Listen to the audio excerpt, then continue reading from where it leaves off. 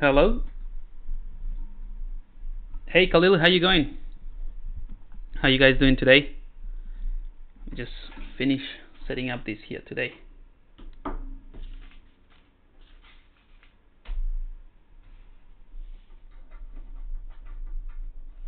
All right.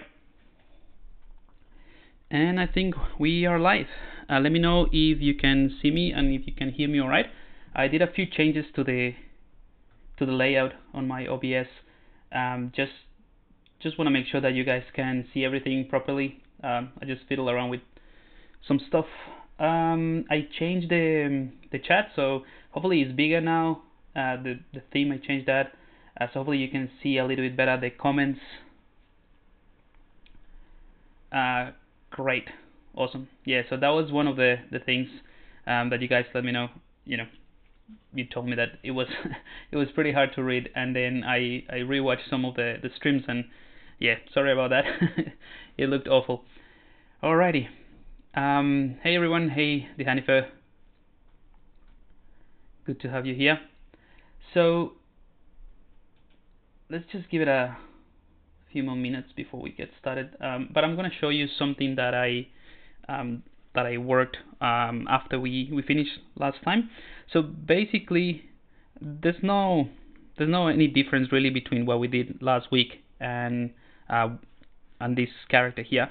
The only thing I did was I just spent like five more minutes after I, I stopped the stream just um, pushing pushing polygons here in the body. So you'll see that um, if you have a look at the very last sort of like screenshot of last stream, it was a little bit uh, simple or like a bit flat. It felt like just a very very rough um, block out of the body. So all I did was just uh, with the move brush just push things a little bit, but it's not it's not you know it's just worth mentioning, but it's nothing different. So um, I'm going to show you a little sketch that I did. Um, it's, it's, exactly the same thing as I showed you before with the feature mapping. Um, but this one is slightly, I mean, it's still pretty rough and sketchy, but um, at least I just put some colors um, to have an idea of like the color palette that I want to go for and and the mood. And so you'll see for the most part it's just a, a brown brown palette and just the kind of like the mask and these ornaments are the colorful ones. So it sort of like draws the attention of the viewer towards the face, which is kind of like what I want for this character. Um, so today I'm gonna focus on. Uh, let me just bring in my Epic Pen.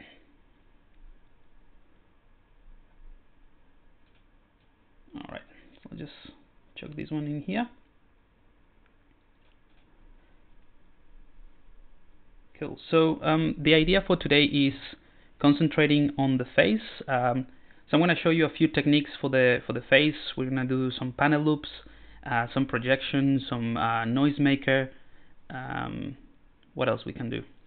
Uh, we can do a few things for the for the face. Uh, so this is like a the, the, the more fun that you can have with this character, I think.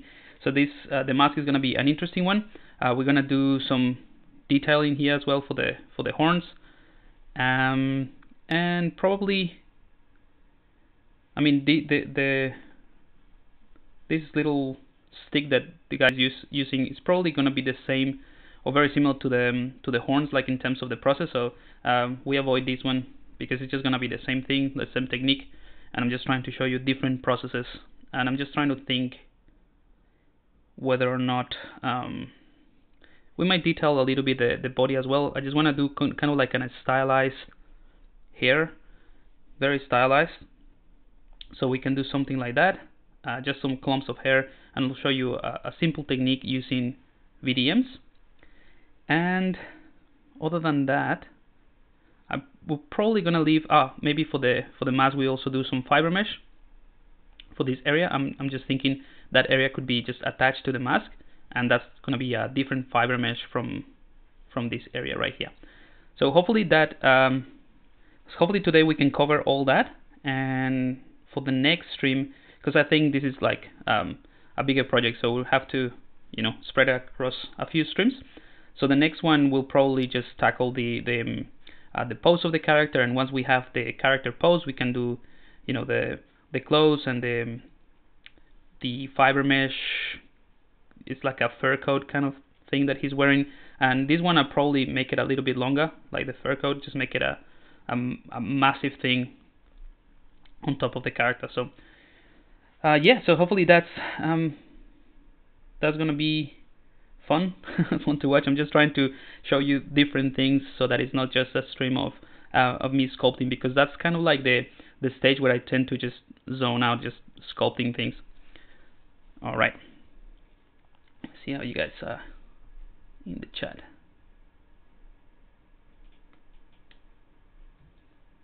Cool. So I'm also been uh, looking at some references for for the mask. Um, so I'm I'm thinking of doing kind of like a wood wood type of mask, um, but I want to keep it I want to keep it very rough, as in like if it's something that the character did himself. So like he he just chipped things away and, and cut and, and pasted pieces of of wood. So hopefully that's gonna be fun. Hey embody, em, em, Emmy boy, how you going? Cool. So alright, if you guys have any questions throughout the stream, obviously feel free to put them in the chat. And now you can you will be able to see them a little bit easier. And I'm gonna be constantly looking for um, any questions so that I can answer them or address them during the stream. Um, but yeah, so hopefully it's gonna be fun today. Uh, some some cool stuff, some some cool techniques that, that I can show you. So I'm gonna start maybe. Let's start with some sculpting, just because you know to to to get us started with something. So I'm gonna select the the horns, and I'm gonna go into solo mode. And if you remember, the horns were something that we started with um, a primitive and then we just use the the deformers to tweak the shape and also the the ZModeler. So the the geometry, if I turn polyframe, you'll see it's it's quite decent. So it's alright. Like we can just use this as a as a base to you know keep subdividing it and and adding details. So in this case, the the, the base geometry is alright. We don't have to really do any redynameshing or uh, sorry ZRemeshing or anything like that um, we might get away with just playing with this one thing that I might want to do is work on the polygrouping so that it's easy to to create selection parts and and, and masks. Uh, but other than that we're pretty pretty good to go. So let me just switch to this color. Uh, make sure I have symmetry enabled.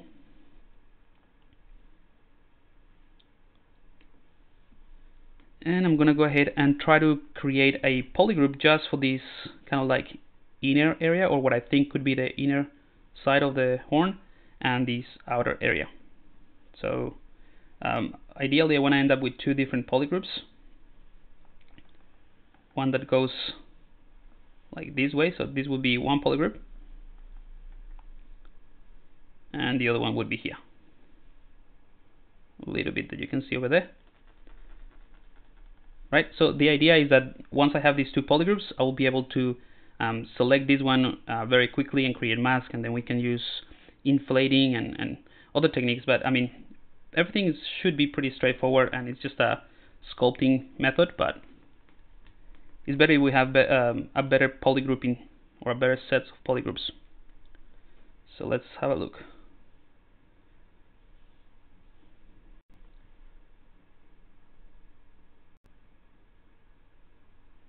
So we can start with something like that. And we'll probably just need to hide some areas here. So I'm going to select my select lasso. I'm going to hold Control and Shift and I'm going to click on this edge and the select lasso, you probably know this already, but the select lasso is the one that allows you to select poly loops or poly edge loops no poly loops so this is a poly loop right so you can select that like so do the same thing on this area. Alright and I'll probably need to hide this as well the, the top part. Just to um, to separate them. And I'm gonna do the same thing um,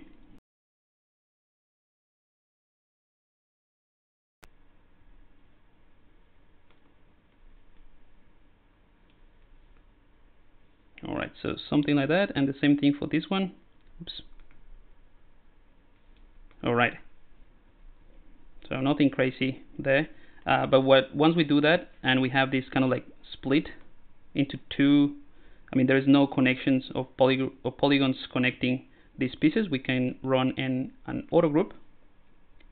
Right, so now we have for every single piece that is not uh, connected or well it is connected but that is visually not connected. So we have some areas that are hidden. Then we have different polygroups. And now let's go ahead and bring everything else. And let's do the same thing for the the other polygroups that we had which are these ones here and these ones. So we had a we have these kind of lines. And so what I'm thinking is maybe let's actually select the yellow ones just the, the yellow polygroups. And I'm gonna do a similar process. I'm just gonna try to hide. Kind of like breaking them apart. Or just hiding some areas so that they feel like the there are two well in this case they're going to be four different ones. I don't know if I'm just mumbling things. Um,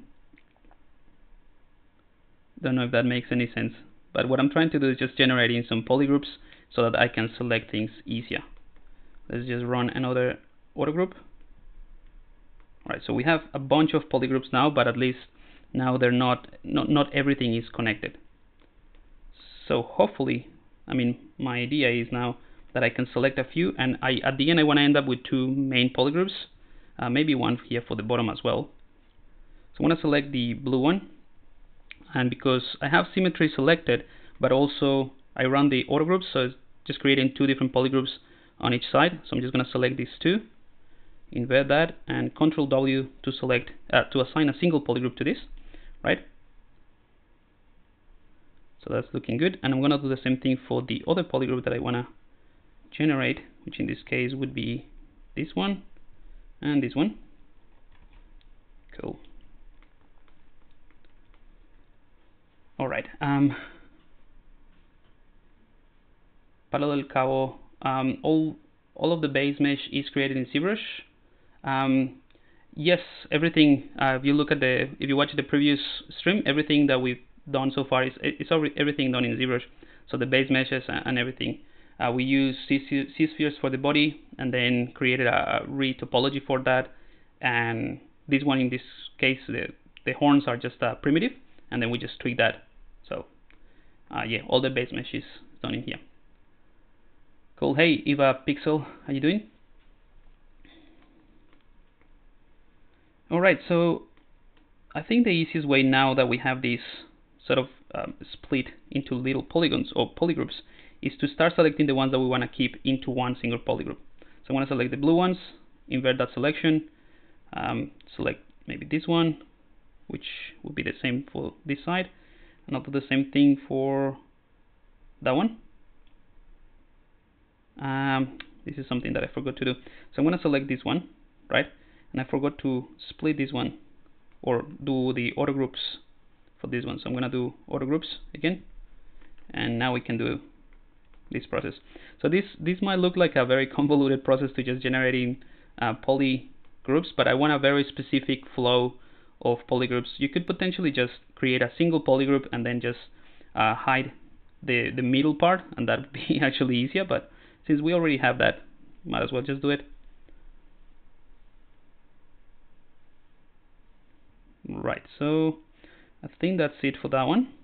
Uh, we might need actually we might need this as well.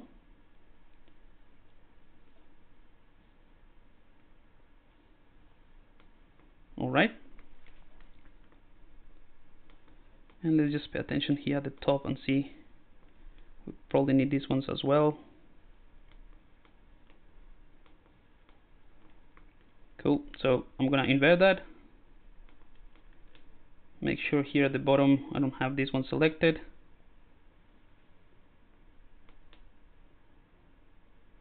Hmm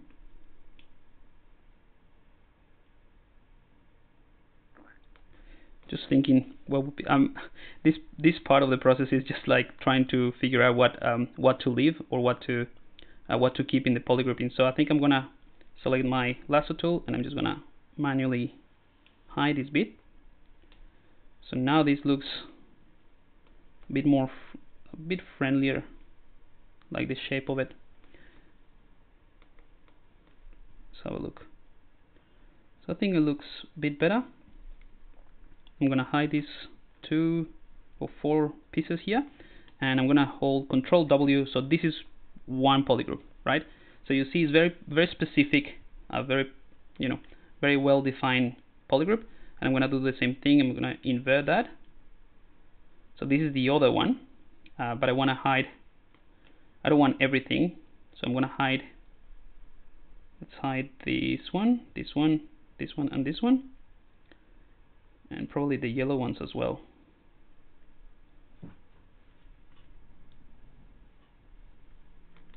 Alright. I'm gonna invert that.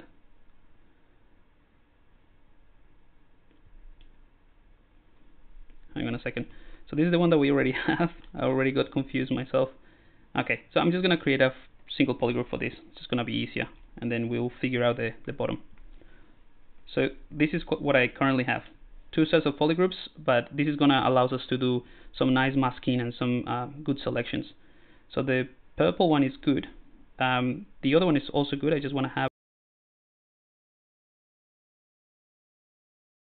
have to affect the, the base. So I'm going to select this one and probably just manually let's see we can select a poly poly loop here or a, yeah poly loop like that.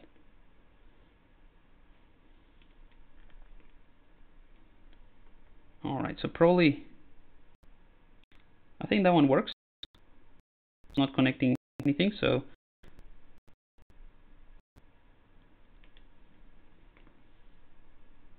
Auto group. Now we can bring back everything. I'm gonna hide the purple one. I'm gonna hide these two now and I'm gonna hold control W for the base. Perfect. Um, I just need to convert these ones into a single one. Just trying to create a different color so you guys can see it better. Perfect. Alright about like 10 minutes just to do this. Um, again it would have been actually easier if you just use the select lasso hold control and shift and select one of these loops and then just do the, the poly group uh, auto group. Poly what is it? Auto auto poly grouping I forgot the name already. Auto groups. And then you can just get that. But um, now that we have this here we can uh, let's just do a quick save just in case. And we can start the the normal sort of approach of subdividing things just uh, subdividing the whole thing and start adding details just sculpting details. Alright So, hi, I'm a serious beginner, so I was wondering what is the purpose of making them in polygroups. So, polygroups is just a um, a selection method really. Uh, you can do a, a, lot of things with polygroups. Like polygroups are uh, one of the best things I think in ZBrush. Um, but essentially they're like selection. So it's a selection tool. It's a way to selecting things. But once you have polygroups, you can um, use those selection tools to create a whole bunch of different things. So um, that's something that we can do with the, that I'm going to show you with the with the mask. So we're going to take we're going to take some polygroups and other than just creating selection areas or, or pieces of polygons that we can select very easily, we can take that and use them into into a more interesting technique with um, panel loops, for example. So we're going to do that later on. I'm going to select the move brush, make sure that I have AccuCurve selected. And I'm going to bring in the rest of the model. So I think these areas just go inside, so you probably won't see them much. I just want to do a quick very very quick refinement of the of the general shape so this is just move brush um, just me pushing things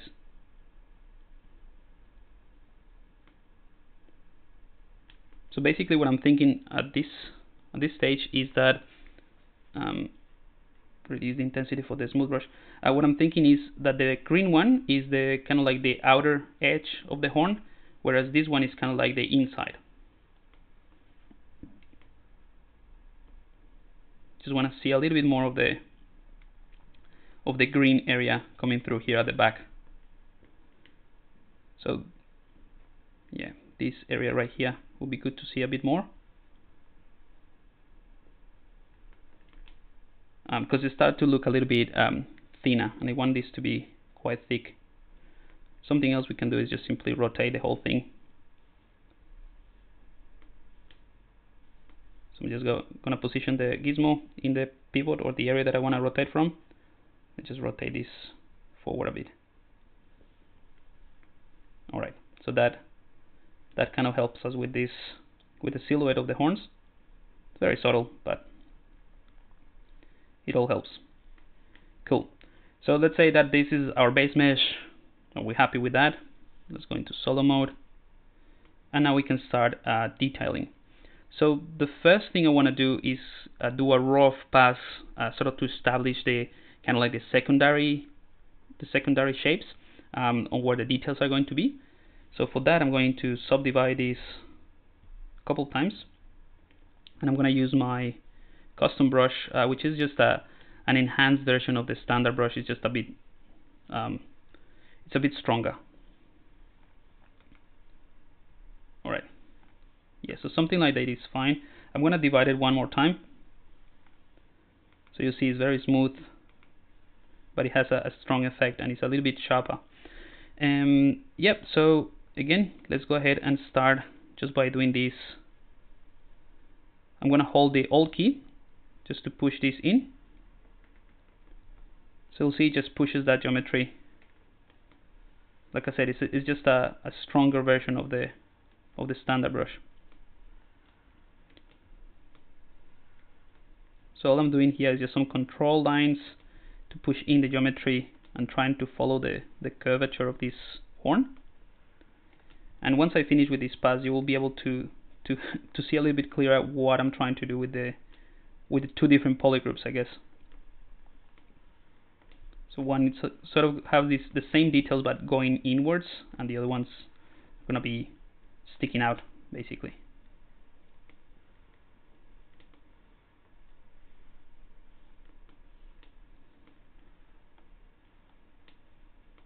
Maybe I will combine them or or do a more subtle transition here towards the towards the tip area let's do another pass really quickly here.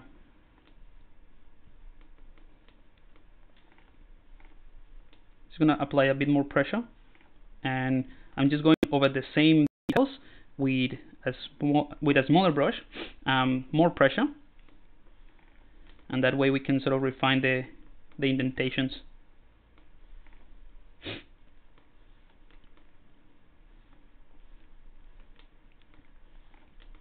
Alright, but nothing nothing too complicated. This is just some standard subdivision and sculpting manual process. Cool. So if I rotate this around, hopefully you can see a little bit better what I'm trying to do. So this area would be embedded or like sort of carved in or carved in and the this other area will be the opposite. It will be sort of sticking out, right? So hopefully this is going to create some nice contrast. I'm going to increase the size of my brush a bit. Let's check that from the right angle. Alright, so I'm going to do the same thing, but starting from here.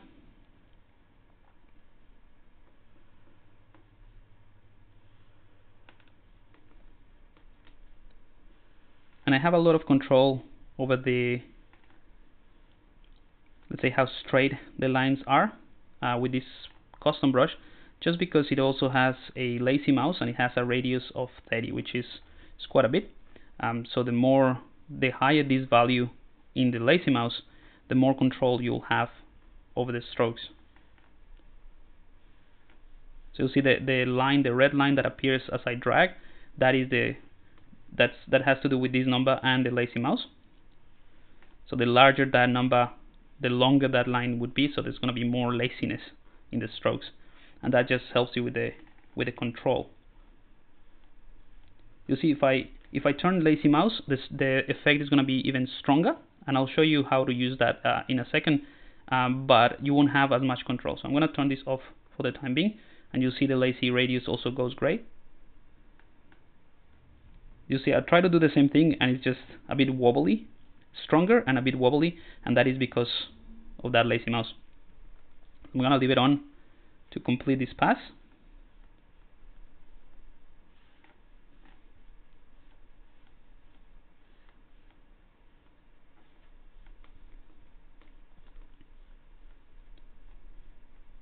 But you know, it's just um, a manual process of adding details uh, with the normal approach of sculpting. Also using the, the smooth brush every now and again.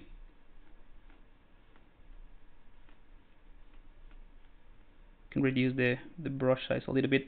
So I'll use the brush size as I go closer to the tip so that the details also are proportional to to the to the position or to the to the placement of it.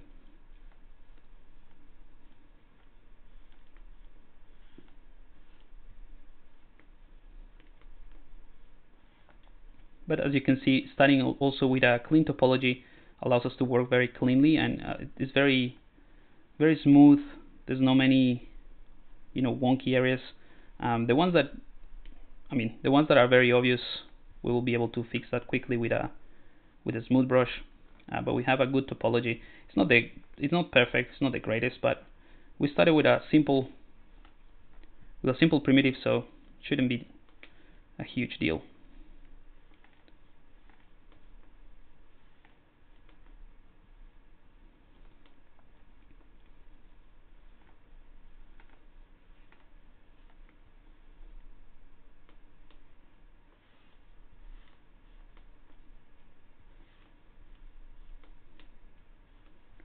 All right, and then see the, let's have a look at the chat. Um, I find it easy to get lost with too many subtools, even with folders. Um, yeah, I, I, mean, using subtools is, I think, is essential. Like learning to use different subtools. It's it's almost like like layers in Photoshop. Like if you if you only use one layer, I mean, you can create amazing things, but you know you have less control over how things fit together. So it is it is it is it is it is an essential concept to to be able to manage this the subtools. I think so. Even if you get lost with different subtools, there is a, a bunch of different tools and, and, and, strategies that you can use to manage them. Uh, not just the the folders. I mean the selection, uh, the way that you select them, the way that you um, have visibility over them.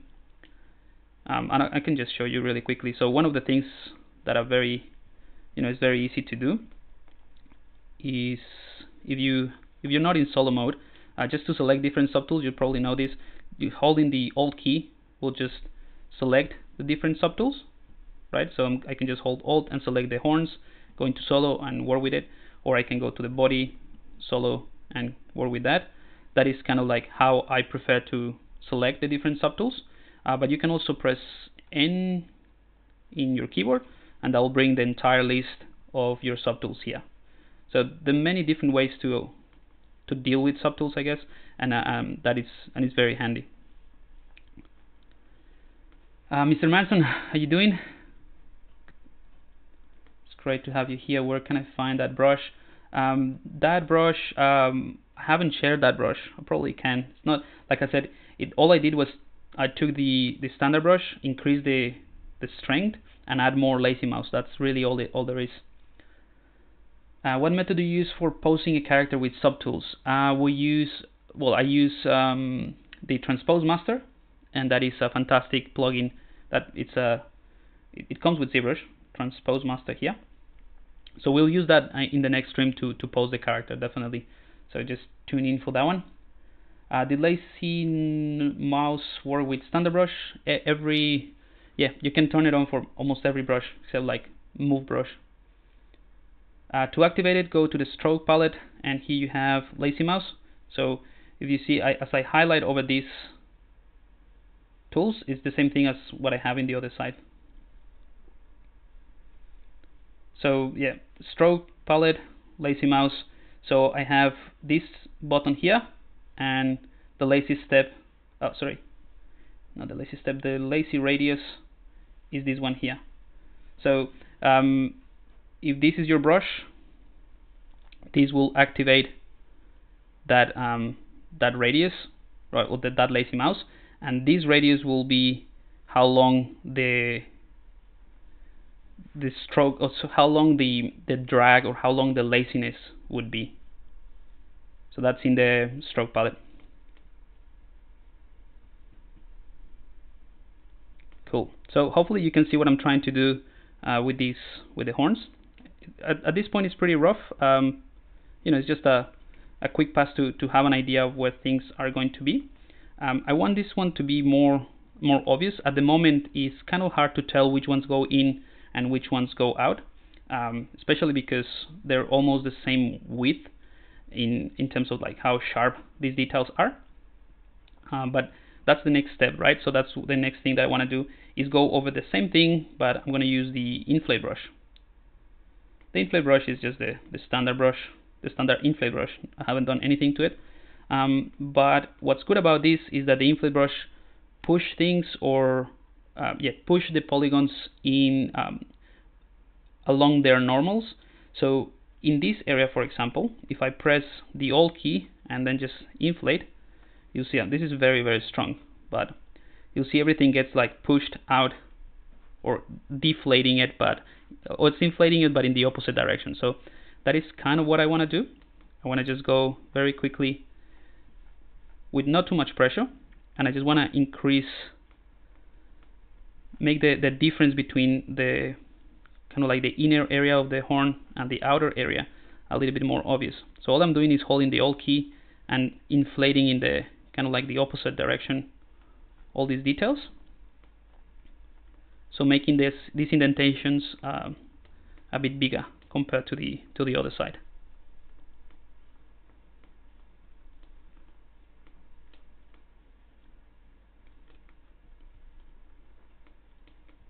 Just gonna try to keep this one subtle because if I push this too much I'll destroy the the geometry. You start to see more of the uh, faceted polygons there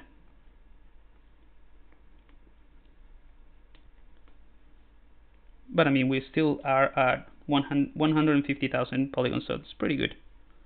We have a lot of room to to play with details.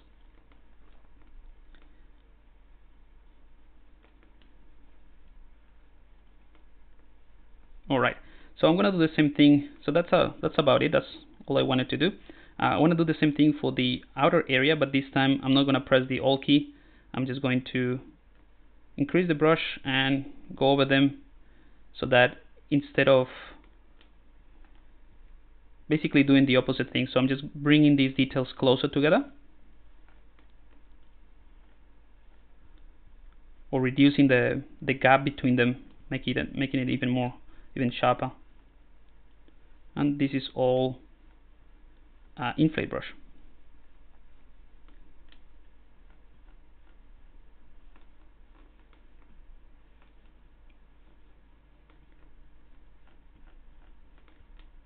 You could potentially do this with the deformers and just select um, one of the polygroups that we originally did, uh, mask the rest, and then just use the inflate, inflate, just the inflate slider. Um, I just want to do it with the, I prefer to do it with the brush in this case because I have more control over the the flow that, that I want to keep. And I think that's about that's about it. That looks alright. And let's go ahead and inflate kind of like the border as well. Just want to add a bit more thickness here so it's more prominent all the way around.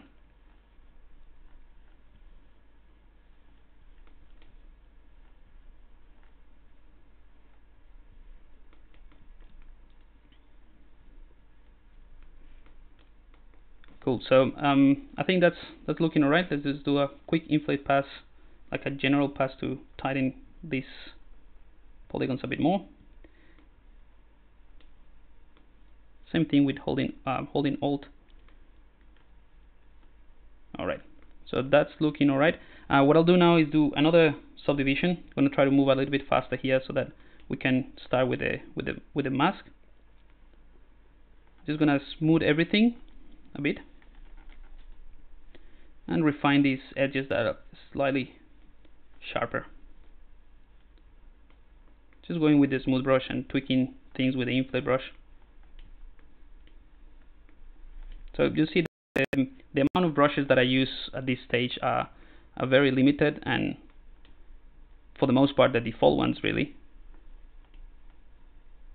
The only different one is the, the custom brush, the custom standard brush that I created, but it's you could totally use the the normal the standard brush that comes with ZBrush. It's just that um, you will probably take a little bit longer just because it needs it needs a little bit more pressure to to do this faster. All right.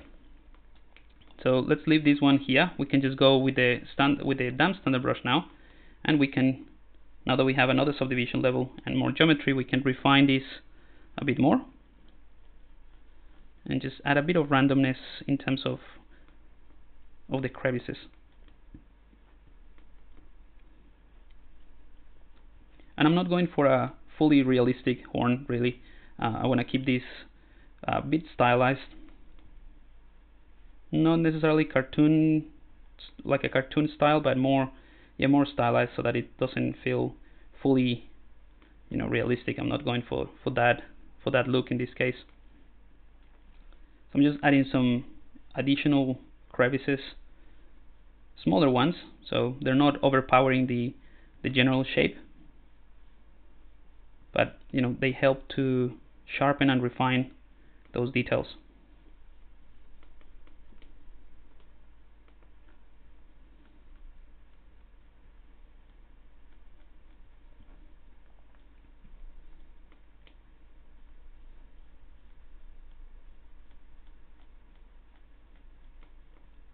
Okay, so this still is pretty rough.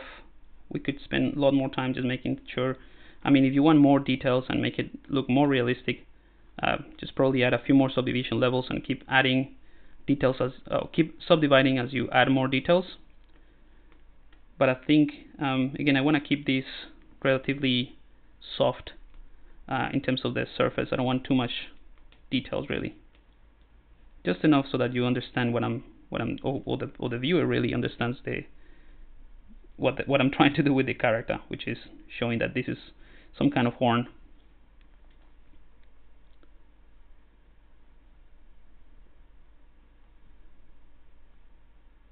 All right, so I'm gonna go back to my just to finish up this uh, the horn pass. I'm gonna go to my extra my extra brush and what I'll do is I'm gonna get rid of lazy mouse so I'll have a stronger version of this I'm gonna reduce the brush size and I just want to add like additional height to this area to this kind of border. Uh, actually before I do that I'm gonna store a morph target.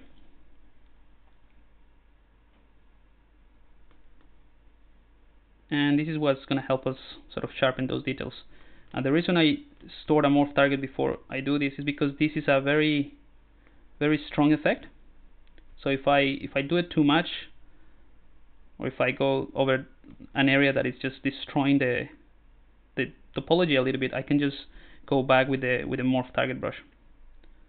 So all I'm trying to do here is sharpening this area and try to integrate this part of the of the horn so that it feels, you know, not completely disjointed.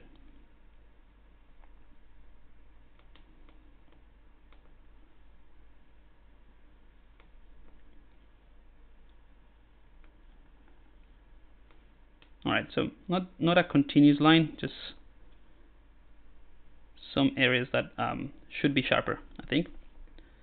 But as soon as I remove the, the lazy mouse, this is uh, with this particular brush that I created, is very is very strong, so I have to be careful with the, how much pressure I applied. Oh, another thing I think this brush has is trails, now that I remember. I made it a long time ago, so um, that's also another reason why it's very strong. It, it has trails, so that means it's repeating the same stroke over and over a few times.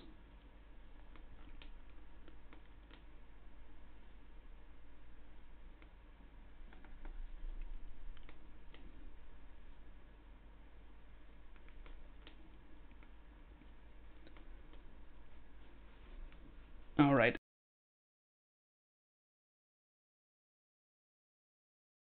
Every now and again my my ZBrush is kind of like stopping. I don't know if that's making it uh, a bit sluggish but it's not too bad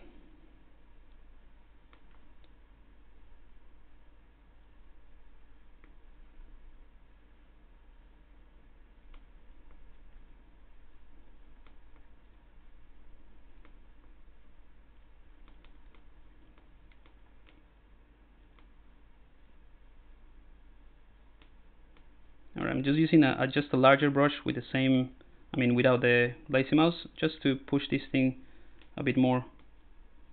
And just because it is stronger, just it's more obvious the the difference.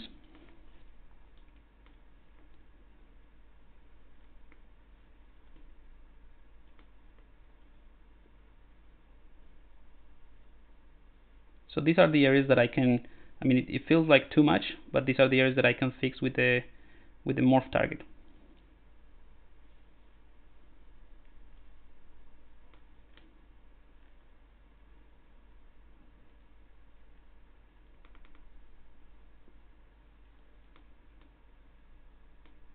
Alright, let's have a look at how everything is looking. So um, you have this kind of like branching, like it looks almost like a, yeah, like it's branching out into into the into the horn. So that's kind of what I'm going for.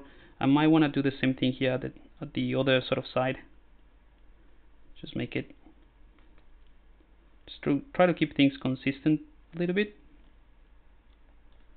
So if I do that in one side I'll probably want to compensate with this other one as well.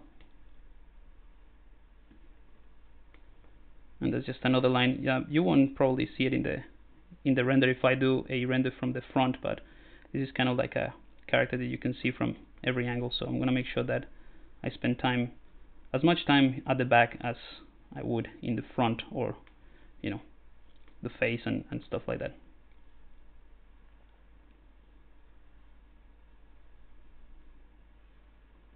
And again I'm not too worried about how much how much volume I'm adding here because this this transition looks a little bit too harsh.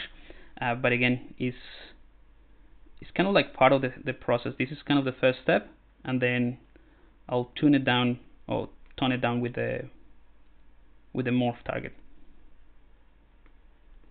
And the smooth brush as well.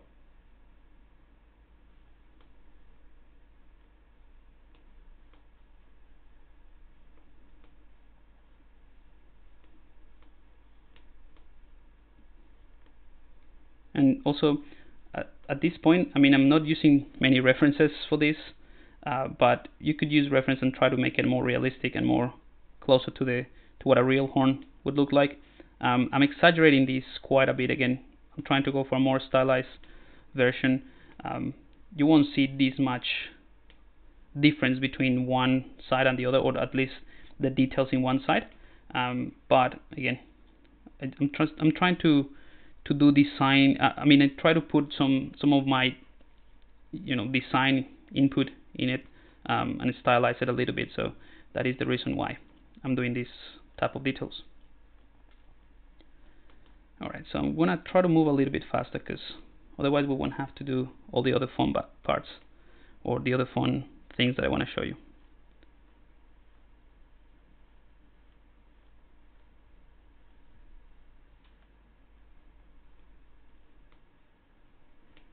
So these are kind of like the manual details again.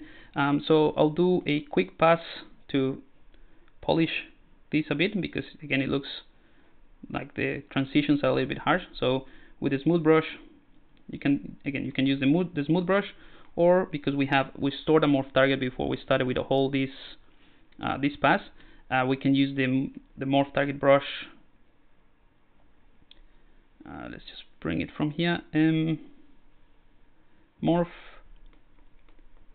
so you'll see this one will basically erase all those details just because we have a morph target uh, selected. So I'm gonna just very softly apply some pressure here just to blend these these these lines a bit more so that it doesn't feel as kind of like a detail that is just stuck on top.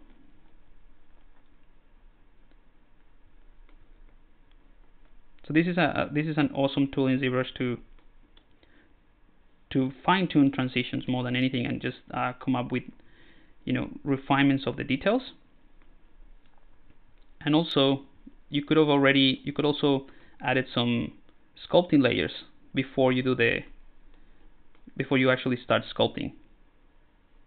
So there's a lot of things that you can do. I mean um, if you want full control over what you're doing I would probably use um, I will start recording in a layer and also or the other way around I will store a morph target and record in a sculpting layer so then you have control over the overall um, influence of the layer but then you also have control over exactly which areas you're adding the details that's kind of what that is let's do a quick save let's have a look at the chat hey Juan um, Mr. Manson, how do you use uh, the surface noise? Can you show this um, in the project, please? The surface noise, yeah, th that's going to be part of the mask. So in just a second, when we move into the mask, uh, we'll probably get to play with that as well. Hey, said Luis, how you doing? Thanks for stopping by. Um, when I apply the surface noise, it loses all the effects. I'm not sure what you mean by that. If if you mean it loses the effect of the surface noise, uh, when you apply the surface noise of the over the surface, you need to make sure that you have enough geometry to describe those details. Otherwise, yeah, you will it, it, you won't lose them. It just you won't be able to see the same um, the same level of accuracy if you don't have enough enough geometry. Cool. So let's have a look at this from a different angle. I mean, you can do um, surface noise as, as, well in here. I'm not sure if I want to do that. I'm going to just delete my morph target. We don't need it anymore. And one thing you can do if you want to add more details to this is uh, bring custom brushes. So I'm just going to do one here.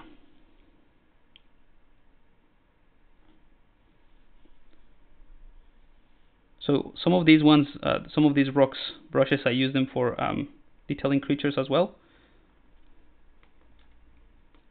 So just to give you an idea of all the like all the style of sculpting you can do with these custom brushes, probably we need a subdivide this one more. Um,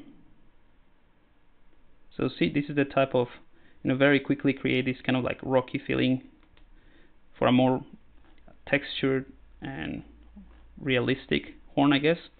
So it looks more, way more detailed. Uh, but that's not necessarily the look that I'm going for. Although I don't mind it. We just do a quick pass um, and then tone it down. Let's do that. Let's go ahead and do store morph target. Gonna go to layers, create a new layer, and I'm just gonna do a quick pass with this brush that creates these type of details very quickly. Uh, but it's a, it's a very strong effect, and I'm just applying it a, a little bit randomly in the sense that I'm not con too concerned about the like how much details I'm really adding because I'm going to control that from the layer and the morph target. And then I mean it's not totally random as in I'm trying to also follow a bit of the flow of these lines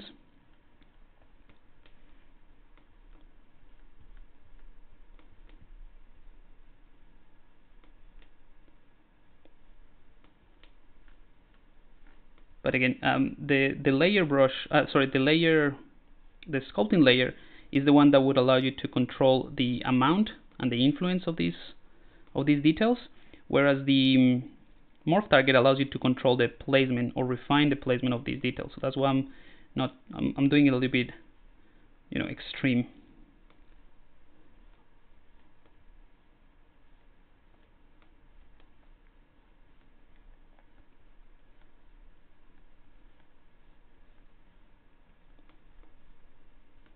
It doesn't look very uh, refined right now, a bit, a bit sketchy, but we're still getting all those details, which is nice.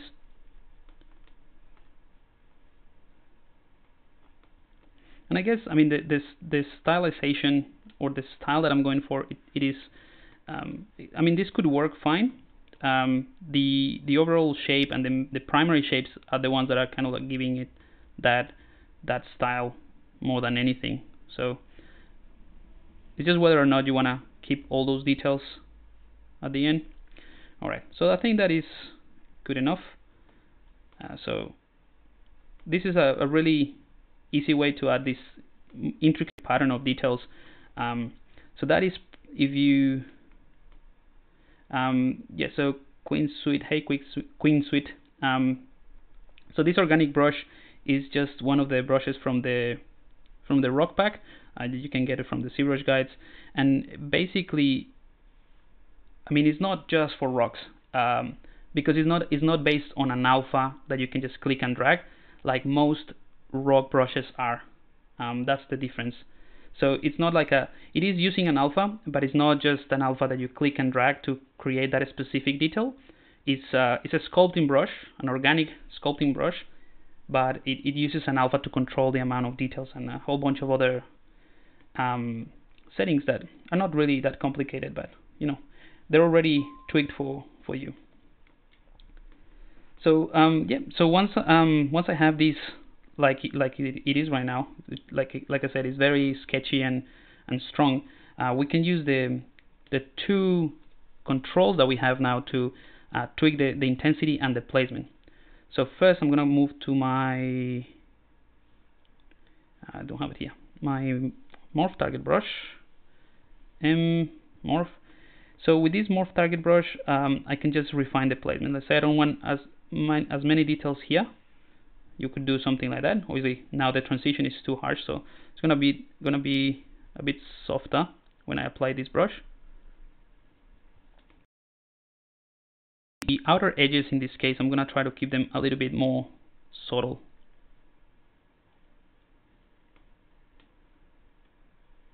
With less details I guess. Uh, and that also hopefully will help me to create some contrast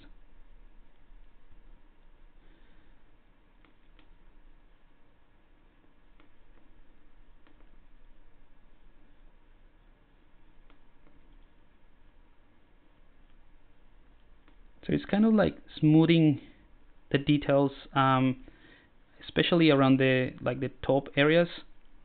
Um, but I'm not really smoothing anything.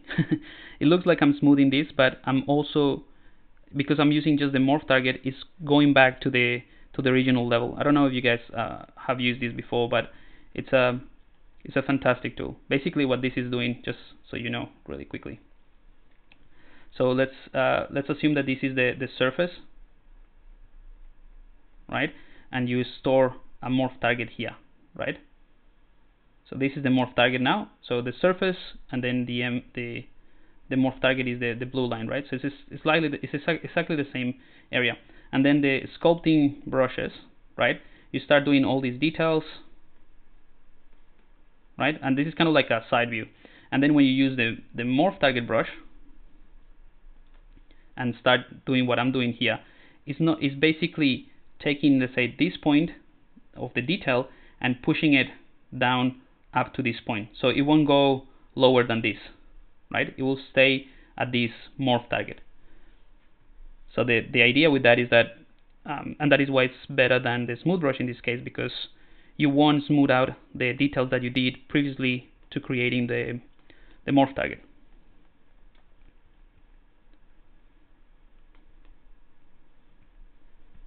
Alright, so this is kind of like, I like to push things to the extreme and then just tone it down a bit.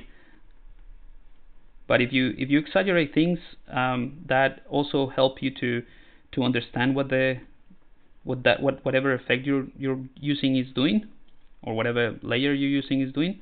So I like to do that quite a bit, just push things, uh, and then just take the time to refine refine those areas.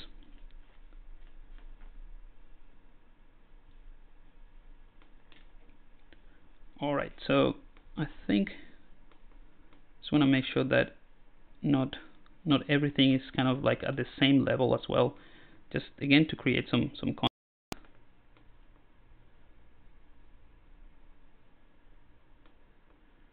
And I think it's looking alright. Um, so now that I finish, let's say with this this pass or this cleanup of the morph target, right? Uh, and you can also see before and after you just do switch so this is without any details and now this is with the details and in certain areas. So it looks um, definitely more interesting.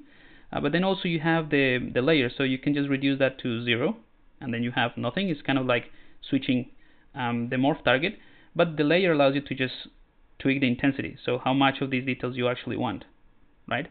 And having layers actually allows you to um, invert the effect. So for some reason, if I wanted to do the opposite, I can just push this down, like the layer to minus one, and you see it creates a completely different effect, just pushing these details minus 1 versus 1 right? So um, pretty powerful stuff. So at 1 we have too much maybe so I'm just gonna turn it down a bit to 0.5 or thereabouts. Alright so um, just a little bit more to sharpen those details perfect um, now that we finish with that pass we can go ahead and bake all the layers so I'm just gonna click bake so now the layer is uh, kind of like yeah baked into the into the actual mesh. Um, we still have the morph target, so we could just keep refining the some areas that I just missed in here. And that that's about it. Perfect. And I'm gonna delete the morph target. I don't think I need it anymore. Everything looks fine. Let's go ahead and delete the morph target. Um, and let's go, let's do a quick save, get out of solo mode. Uh, so this, this starting to have a little bit more character. Uh, we can definitely go over this and keep refining it and, you know, add more details, but um, I think at this point, I'm happy with how this is looking. Uh, we can also go back to the lowest subdivision level now that we have the details. Um, I think I would like to just make this a bit more prominent. This this line here. So this is just in the lowest subdivision level moving things around to fine-tune the kind of like the main shape. Right? And then go back to the highest subdivision level and we still have all the details all right let me see if you guys if you guys have any questions so far or anything that I mean I don't know if this is interesting. It's, it's, it's very manual uh, sculpting, and like I said, when I do this type of thing, I just zone out, and it's hard for me to talk while I'm doing these type of things. So hopefully it's interesting. Um, cool technique with the morph target, great. Glad you like it, and it is definitely a, a very powerful technique. Um, it gives you a lot of control. Um, Eva Pixel, how do you find the time to know all this stuff? Um, yeah, um, I just use this quite a bit. So um, I, I probably am not as as efficient with other software as I am with ZBrush because I've been using it for a long time, since like it was introduced almost uh, ZBrush 2.0. Um, but if you're interested, uh, this is completely off topic, but if you're interested in um, kind of like um, an, my approach to learning a software, um, in specific ZBrush, but any other software, there is a there is a couple of a two-part tutorial in the ZBrush guides that is called How I Learn ZBrush or How to Learn a Software, and I show you kind of like my methodology of learning a new software and how I got introduced to ZBrush. Because at the beginning I was pretty much like every everyone else when they first open ZBrush. Um, you sort of like taken aback a little bit because it looks there's so many things you can do that you might feel overwhelmed. So um, I treat it as a kind of like a metaphor, and and everything is just a metaphor. Like since from the the window itself, like we call this entire interface a window, but it's not a window. It's just a I mean, it is a window because now we we know it is a window, but um, this is like completely off topic, off topic. But if you if you watch the entire tutorial, it, it will make more sense uh, what what I'm trying to say and it's kind of like a, a step-by-step methodology of of how how to approach the learning of a software and and how to keep at um, how to keep developing your skills in it. Uh, Bronze Tiger, hey Pablo, love when uh, loved when you were on Draw with Jazza. What a tablet is that? Um, so with Jazza, that's uh, for those who don't know. I'm sure you know Jazza. It's, it's all over the internet, but um, Jazza it's, it's, it's his He's um he's an artist uh, based in Melbourne as well. So we did a a fun little little sketch with the uh, the Mobile Studio Pro. So that is the it's the equivalent to the Cintiq that I'm using, but it's also a computer. So it's just a mobile um, mobile tablet. So it's really really handy. Are you able to show us projecting from low res to high res? Uh, yeah, yeah, that's a, that's really easy. Not not a very complicated thing. We can do it probably with the face. How can I upgrade in sculpting? Trying to so much tutorials. Uh, you mean like um, progress you or, or, yeah upgrade your skills in sculpting? Uh, that's just something that requires time and practice. I would I would advise that you take a real life object, a, a very simple one. Uh, you can start with like um, I remember when I was starting with this, I I used the uh, I forgot the name. It's a it's a it's a nut. it's a it's a little I forgot. It, it's kind of like an almond nut. It's a I forgot the name, but basically it's as simple as as that, like a little peanut. Um, and then I just took photos from different angles and I try to recreate that exact the, the exactly the same um, peanut. Um, and you think it's just going to be oh just just a sphere or just a squash sphere and that's it. But if you analyze everything, uh, you start to understand you know the, the volumes a little bit better and where the details are and how much details. So that's a good way to you know upgrade like you said or, or increase um, enhance your your your techniques as well with uh, sculpting. So uh, that's something that you can do. Just take uh, something that's very very simple or that looks seemingly seem seem to be very very simple and then try to recreate it and um, that way you can also be able to judge yourself uh, as the progression of your skills if it looks realistic or if it looks exactly like the, the real object. So that's a very easy thing to do uh, to help you with that. Um, ZBrush Guide is fantastic. I have it. I have used it. Great. I'm glad you liked it. Uh, nice horns, complex shapes. Uh, thank you. Yeah. So it looks complex, but ultimately it's a very very simple thing, right? let's move on and let's work on the face, cause uh, on the mask, because that's gonna be fun. Um, I'm gonna be able to show you a few different things, and we still have uh, lots of time. Right, so I'm gonna select the face. Let's do. Uh, I think I did a quick save already, but just in case. And I'm gonna go to the subtool that I have the the face, but I don't want to work on this one. I want to separate this uh, mask into a few different tools to make it a little bit more complex and, and interesting. And the reason I do like to separate it is so that I have more control of the different effects. So I'm going to have, um, let's say, yeah, I'm going to have three different sets of tools. Uh, uh, this is what I'm thinking, but I haven't tried it, so I might need more or less. Don't, doesn't matter. So the first pass is just going to be like uh, the wood. Uh, I'm thinking of doing this kind of like a wood, uh, wooden mask where you can see the, the chips of wood, uh, like like if this character actually took a tool and very roughly just carved in the shapes to make the mask out of a, a log of wood. So that would be the first pass. Then we do some details with um, uh, polygroup it, and that's I'm going to show you a really cool technique.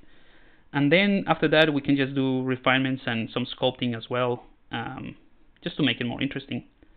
And then uh, hopefully we'll we'll have time, but I think we will, which um, we can we can do some uh, fiber mesh, just some some of the hairs sticking out of.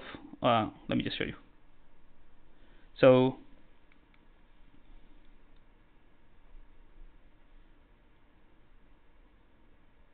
so this bit here. So that is uh, what I'm thinking is kind of like not feathers, but like a I don't know, like a fox hair or something like that, and that is sticking out from underneath the mask. Uh, maybe it goes all the way around, but it's not as prominent at the top, right? So that is what I'm thinking with this. Um, all these details that you can see here, like these lines, I mean, it's very sketchy, but you get the idea. I mean, all these lines, there will be part of the polygroups and the polygroup technique that I'm going to show you. And other than that, what you see behind those details, which is not very obvious in this sketch, is going to be the um, like the first part that we're going to start working on right now. So the first thing I want to do is keep this as it is. And I'm just going to duplicate that. Go into solo mode and I think um, I think we did a um, remeasure with this one. It's a single-sided polygroup or single-sided polygon, uh, but that's fine. What I would like to do is maybe give it some thickness already. So let's just do that before we get started with with anything else. Um, all right. So oh, let's leave this one on actually. I'm gonna go to the ZRemesher palette, geometry, and ZRemesher. Here we go. Um, again, you can try the legacy or not uh, because this is an organic shape and I don't have too many hard surface or hard edges. Uh, it might give you a better result or might give me a, a better result using the legacy. So I'm just gonna leave this one on and I'm gonna use half and I'm just gonna just, just let's do a ZRemesher. Sometimes with the legacy, the when you leave the half button on, it's not as obvious the the reduction of the polygons. So you have to keep an eye on on the active points. So see, I have 31. So that one looks alright. If I do it again with half, it should give me 15 in theory, 15,000. That's how it looks. See, around 13. So it is doing it quite obvious. But when you get to a certain point, like in this at this stage, um, it won't reduce it to let's say 7 7,000. Let's do it again.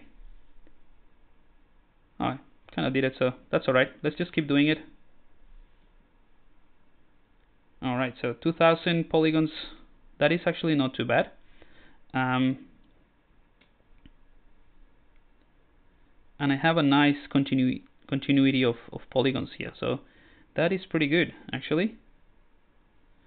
I mean, this one could be improved, this uh, this polygon here, but Let's do one more time just to to see what that gives us. So that's actually pretty good. I'm not um, I'm happy with this.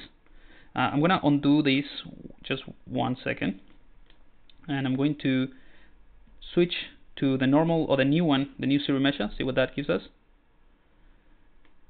All right, so that you'll see that the difference is quite obvious.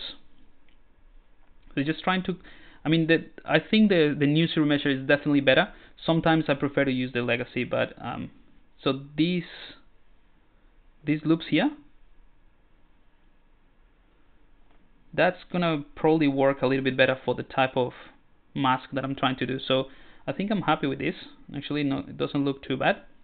Um, just the this area here, we can we we can work on this a bit better. So I'm gonna select the move brush, or I have that selected already and I'm just gonna click on these points and just push them closer do some very very minor refinements to the base to the base mesh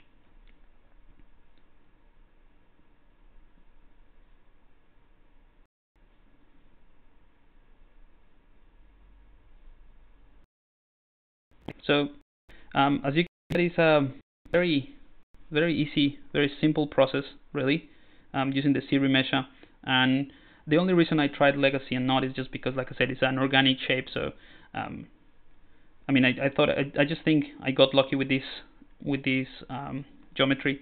I'm not sure if this point right here is going to give me some problems with the subdivision. So let's just try that out first. So I'm going to subdivide this a few times. And I think it looks pretty smooth. just don't do that. Alright. So yeah, I'm happy with this. Uh, we can refine the, the shape a bit just with the move brush. I want to maybe sharpen these, these lines a bit.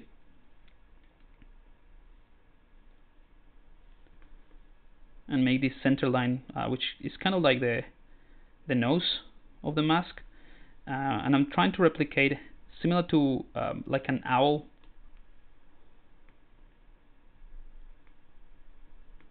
replicate the shape of, a, of an owl head. So very, very simple and minor tricks here. Let's check the polygons. All right, so that looks that looks good. So before I do anything with anything else with this, uh, what I like to do is actually copy this and save it. And I do this often. Um, as you can see, I have a folder called the originals. So I will duplicate this one and take that one back to the originals. So I just like to have it there in case that I need to go back and I don't have to reopen a, an older version of the of this project. So I just keep everything. If I open this one here, you see I have a bunch of original stuff that I can reuse at any point within the project. Alright, so now that I have this one, this is still a single-sided polygon.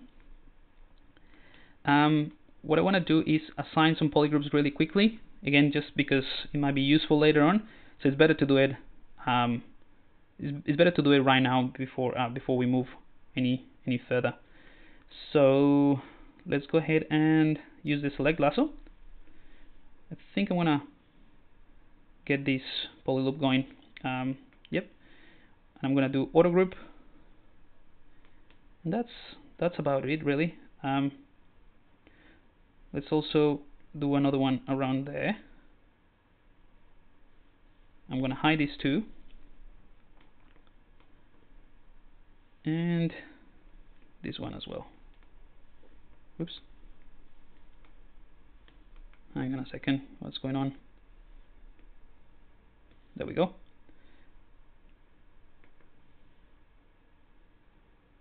Auto group. Cool, let's bring back everything. So we have a bunch of polygroups. Uh, what I like to do is keep this one separate. So I'm gonna use this one and the purple one. So this is just gonna be a single one, right? And then that one and that one. So this is gonna be a another one, different color. All right, and then we have this blue one, to a different color, so it's easier to see. Well, ah, come on. All right, a yellow one. Cool. So very simple set of polygroups. Um, we have a nice topology now that the automated ZRemesher gave us, so we can you know keep working on this. Um, now, what before I do the subdivision and creating the the effect that I want, um, I want to do two things. I want to duplicate this again. uh, so I have three duplicates. I have the original sketch, uh, which at this point we can actually just push it up as well, or into the originals. Right, so we actually have two of the same. Uh, this second one is going to be the one that I'm going to use as a base to create the the pieces of wood or the different, the more detailed version of the mask. So I'm going to turn it off for the time being. And in this one, we're going to work on the thickness. So this is going to be the base of the mask and is the one that is going to look like chipped wood or carved wood. All right. So um, yeah, before we, we start with this, I'm just going to bring in the ZModeler. Um, and the ZModeler is just a, the brush in ZBrush. And I'm going to right click on our face. And I'm going to select QMesh, make sure that all polygroups are on. And this is what allows us to create the thickness. So if I click any polygon, you see I get this effect and now we have thickness. So it's really easy. But I don't want to create this kind of like inflate effect because I'm losing a lot of the details I orig originally had. So I actually want to create the, the thickness like going in. So I'm going to undo that. So all we have to do is click from anywhere really and then just push that in. Oops.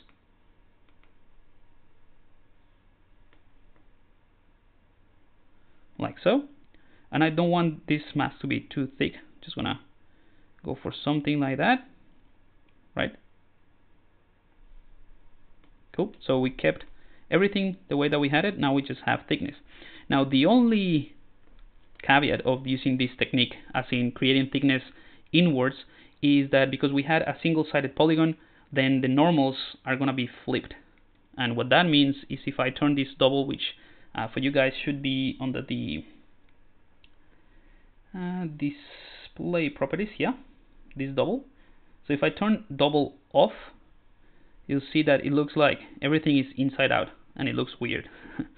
So that means just that the poly the, the normal uh, the, the way that the polygons are facing are kind of inwards because we did it inwards rather than outwards. So uh, that is just something to keep in mind. It's not a problem because just, we can just go to flip and this button here I also have it around there. So if you click flip it's just gonna flip the normals and regardless of you know you have this on and off it's gonna look good right? So the normal the polygons the polygon normals is a very important thing uh, to keep in mind. Cool. So now we have thickness and we have a set of polygroups. So this one right here you see started to get a little bit you know uh, close together and that could you know potentially be a problem. So what I'll do really quickly is go to the move brush and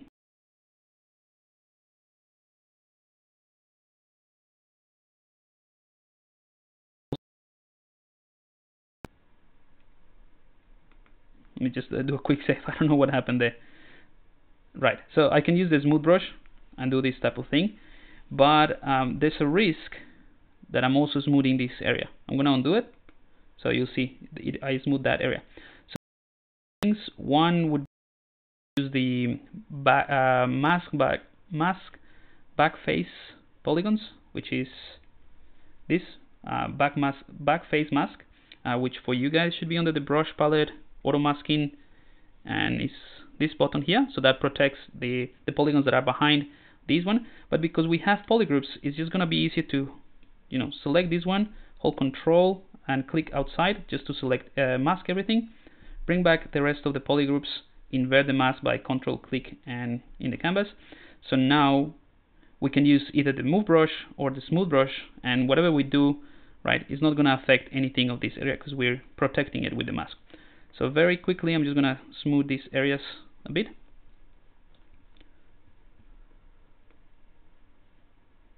Something like that should be fine. I just want to have a, a, this this area I mean you won't be able to see it but it's just gonna be easier for adding details and stuff on the other side. Cool.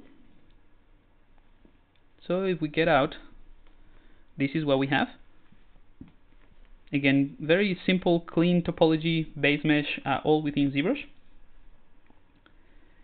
perfect. So these mm, I just I just have a duplicate of these masks if you remember. Uh, but this one doesn't have any thickness. So I'm just thinking ah, you know what? Let's leave it let's leave it like that. And we can probably get a way of creating some thickness using the the edge loop. Yeah let's just leave it like that. And let's continue with this one.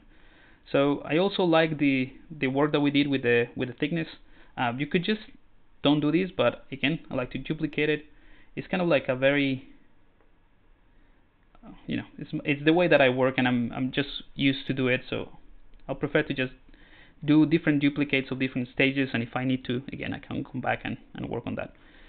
Alright, so it looks like we haven't done much, but we actually have a nice set of polygons that we can work and, and start subdividing. So the first thing I want to do now is do a few subdivisions. Again, this is going to be just the base of the of the mask. So you'll see it's nice and smooth if you want to keep this sharper, um, what you can do is just, uh, actually let's just do that so you can, that I can show you a different technique. So I'm gonna go to the ZModeler.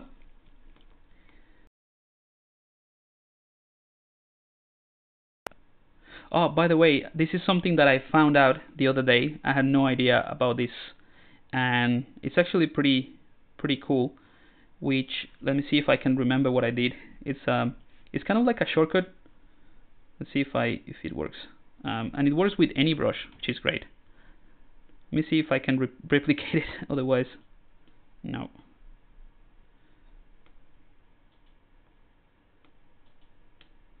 Oh, I think it's with the. Hang on, with the lasso or.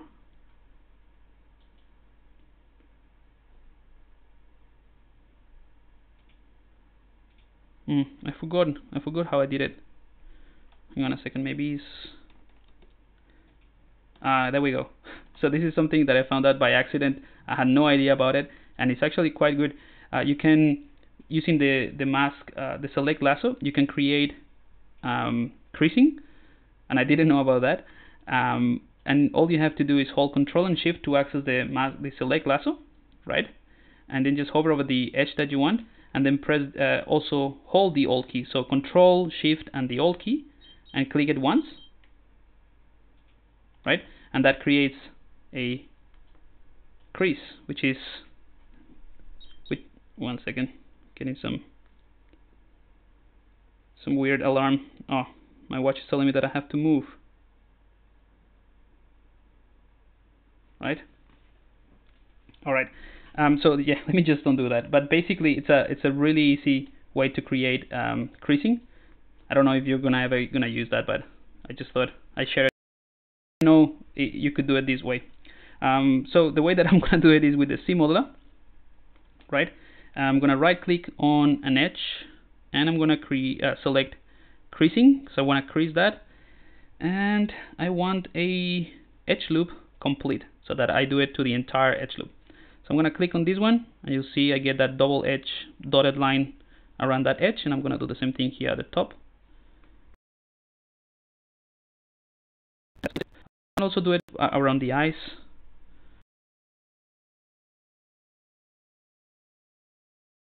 That gives us. So I'm going to do the same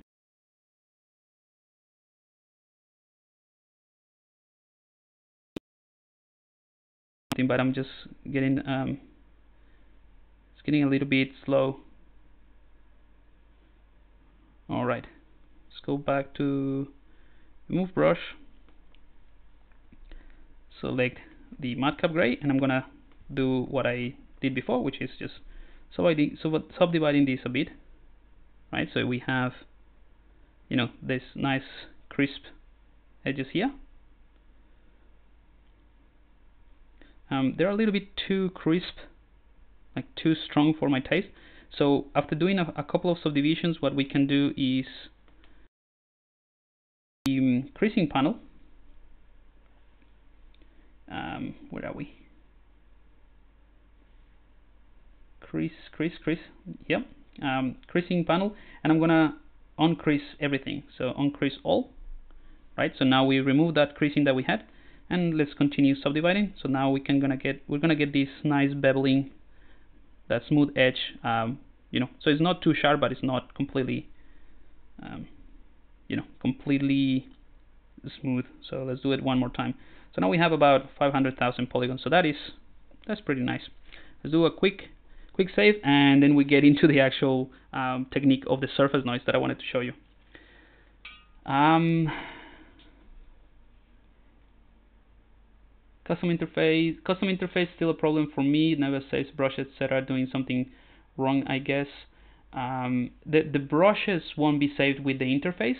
If you want if you create custom brushes you have to save them individually the interface will only save will only save the placement or where you put those brushes. Um, but if you want them to load with ZBrush, you have to put those brushes in the startup folder.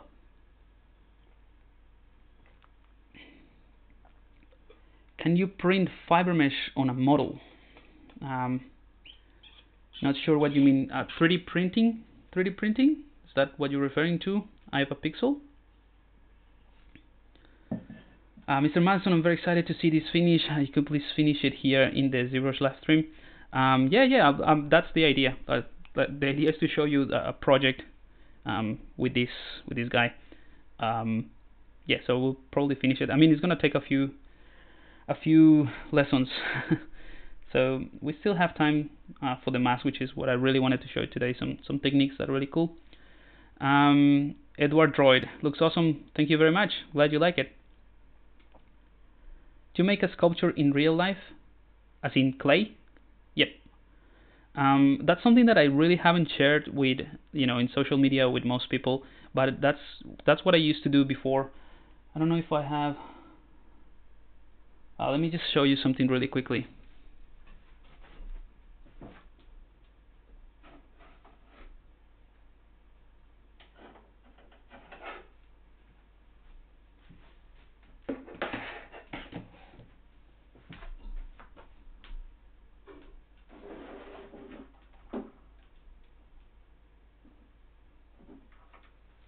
All right, so, I mean, these are about 10 years old, really. So they're pretty, pretty old stuff.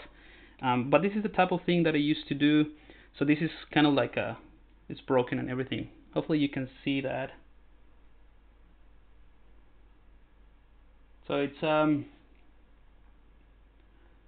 it's a caricature, and it's all done in uh, sculpt is Sculpey.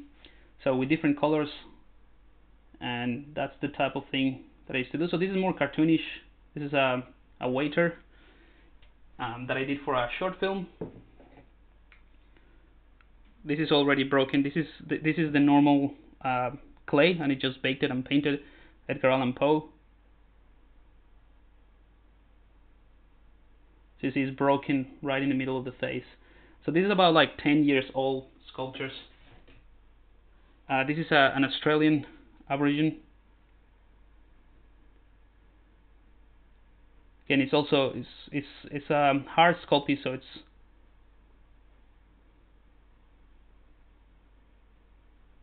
yeah. So anyway, that that's that's the type of thing that I used to do before. So I um yeah. So my background is also a bit of that more traditional sculpting.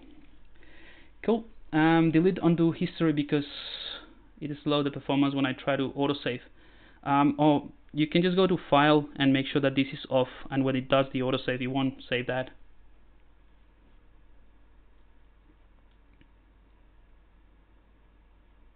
Uh, will you do the same character as some cartoon in ZBrush? Um, yeah, at some point maybe. It was really funny up close. Alright, let's let's continue with the mask because I, I want to show you some stuff. So I have this uh, at 500,000 polygons, so we can still subdivide it a bit more, and then you know keep working with that. So the first thing I want to do is create that chipped look of the of the wood. So we can do two things. We can go to the um, surface noise,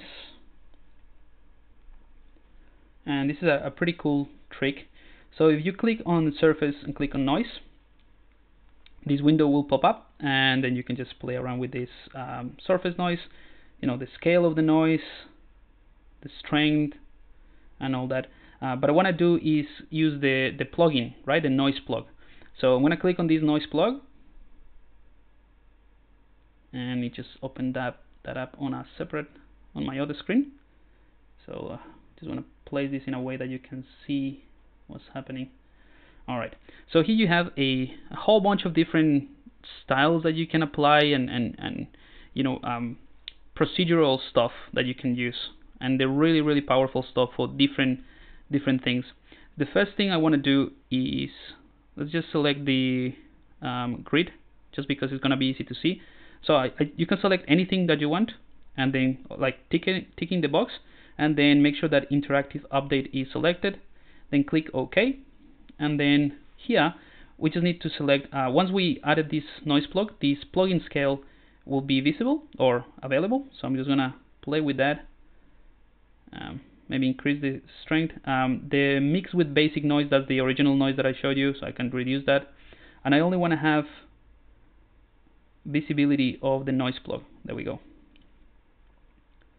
So I'm to increase the strength and reduce the scale. Okay.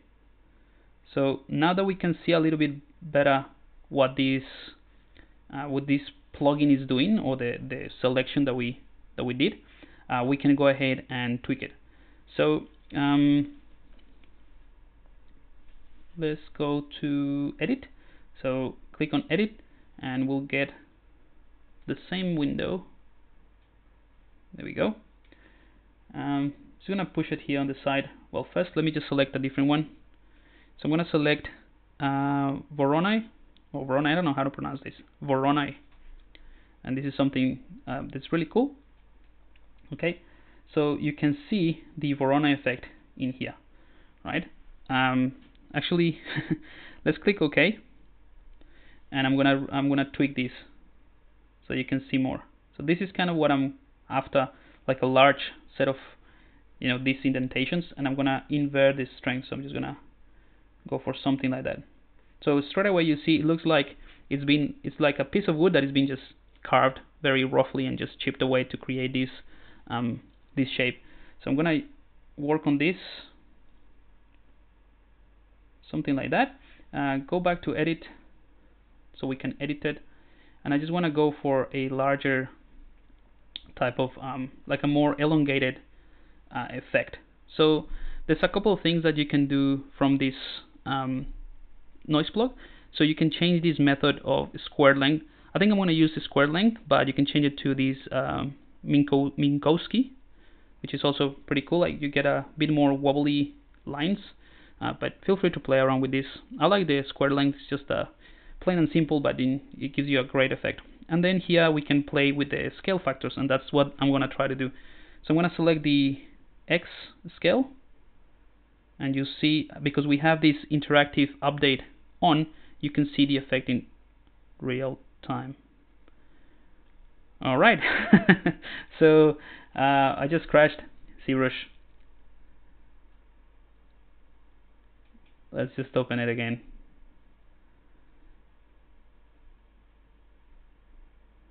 Hopefully we didn't lose too much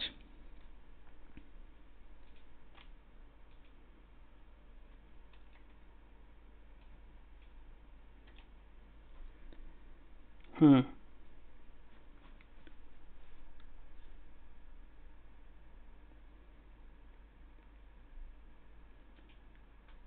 Let me see if I can find a quick save and try to rescue some of the, the work that we did. Because we did a quick save. So shouldn't be shouldn't be too bad. And that's the thing with the noise plug. Mm, sometimes sometimes could be a bit tricky. Um,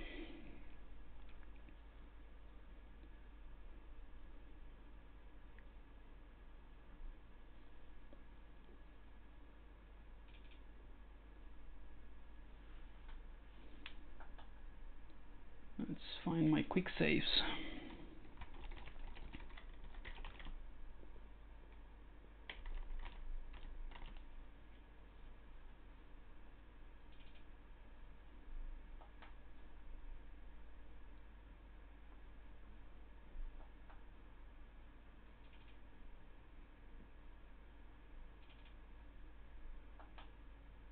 Hmm.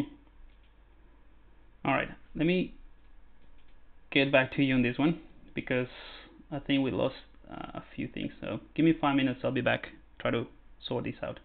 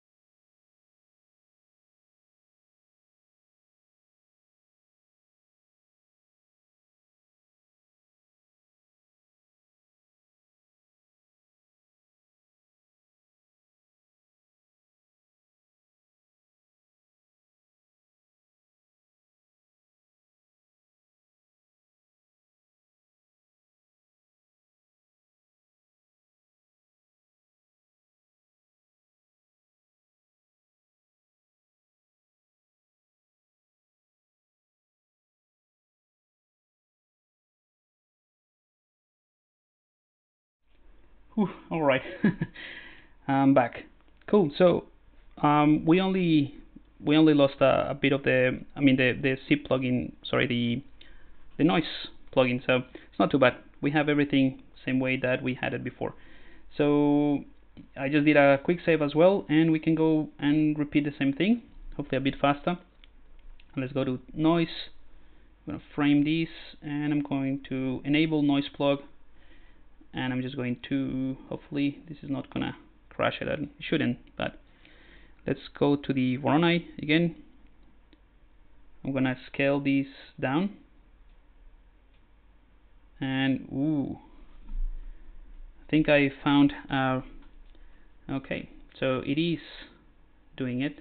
Hmm.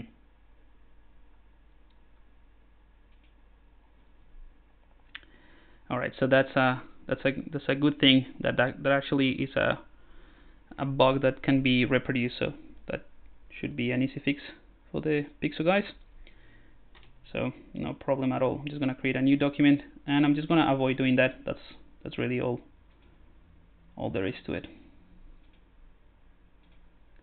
So let me load the tool again. Uh, sorry about these technical difficulties. We'll get back to it in just a second. Alright, so let's use the surface noise, but we will be a bit careful. So I'm going to select noise, frame, noise plug,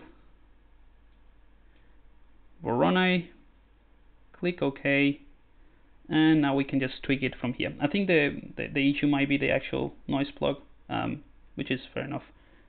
Um, let's go ahead and reduce the mix with the basic noise, increase the strength, and then just reduce the scale a bit.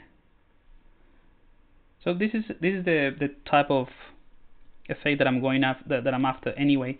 I just wanted to make it a bit you know scaling in the y-axis. So something we can do is also use these ones here.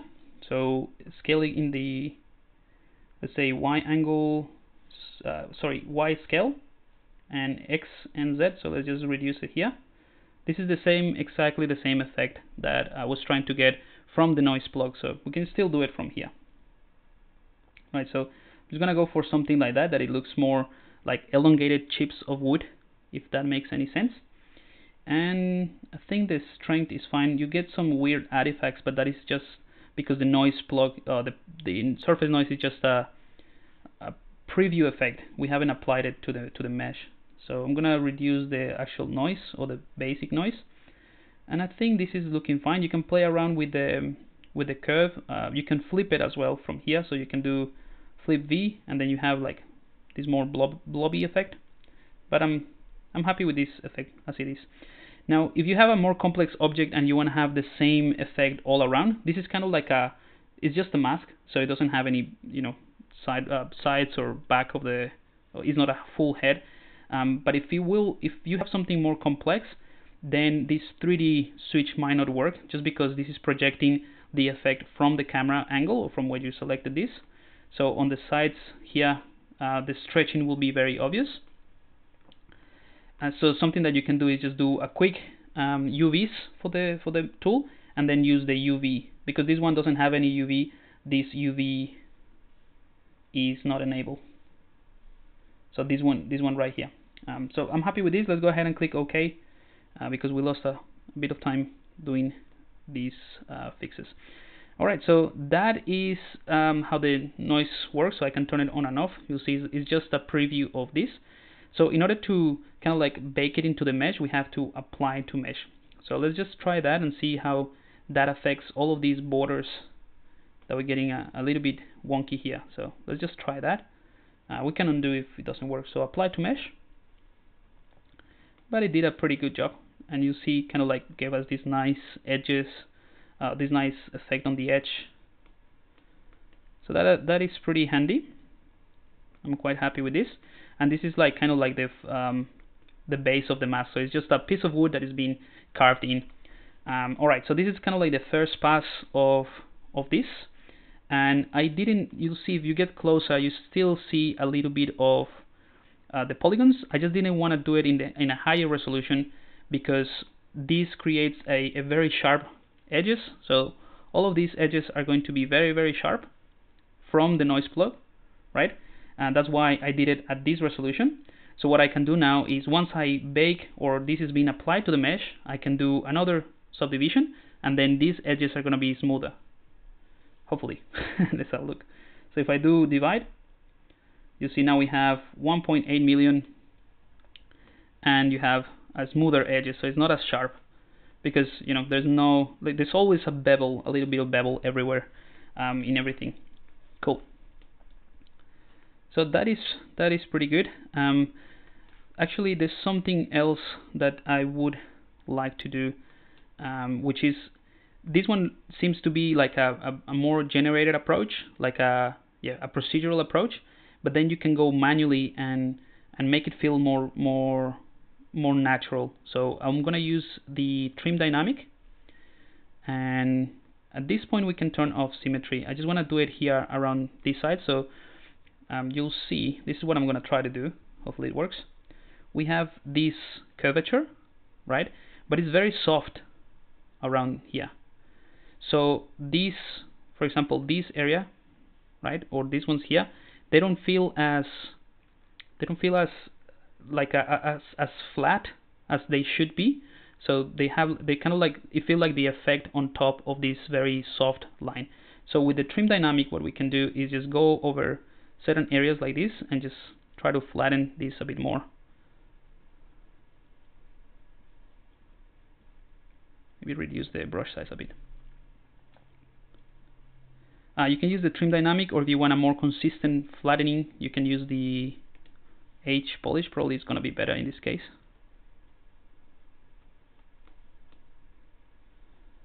So yeah all I'm trying to do here is make it making it feel more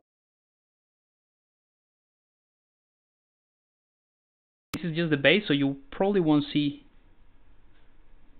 any of these details but you know it's, it's good to at least uh, I'm showing you something different.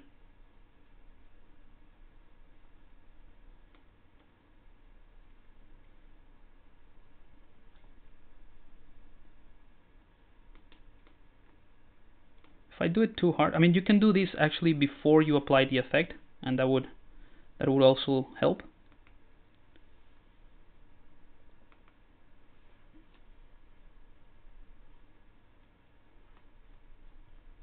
you know.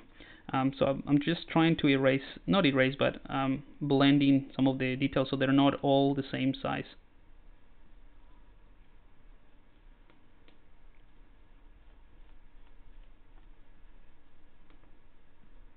Alright maybe something here at the top as well.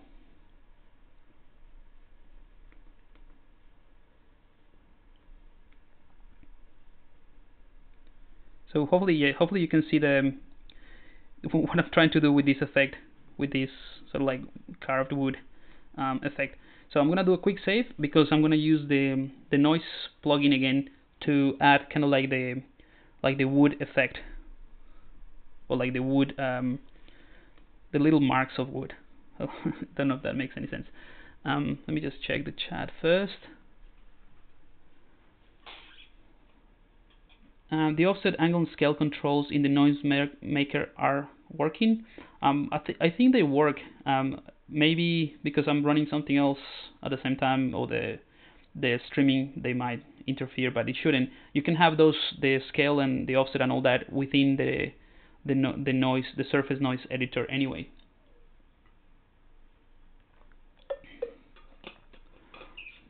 Hola Alex, ¿cómo estás?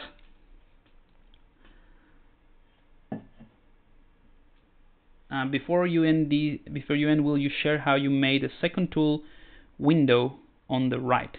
The second tool window on the right. Um, I'm not sure what you mean there. Uh, if you can just be more specific, uh, I'm happy to show you if if I can. Um, I'm not sure the second subtool window on the right. Second subtool window on the right. Yeah, not sure what you mean. All right, so I'm going to use the surface noise again, enable that, go to edit, and I'm going to click on edit noise plug, bring that in. Let's hope for the best. uh, and I'm going to use the wood pattern here. So it creates this this wood pattern here. Um, so that's going to be okay. Let's just click OK. And obviously we can tweak the, the intensity of it. So uh, I'm going to go ahead and change the scale. So you'll see you get all these wood uh, nice wood um, ridges which is pretty good. Um, and maybe change the strength a bit. And just play with the scale of it I want I want this to be very subtle.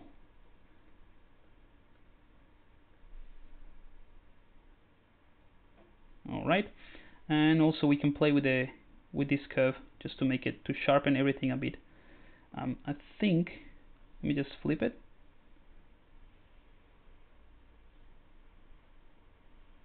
okay I'm gonna exaggerate things again so I'm gonna make it very very strong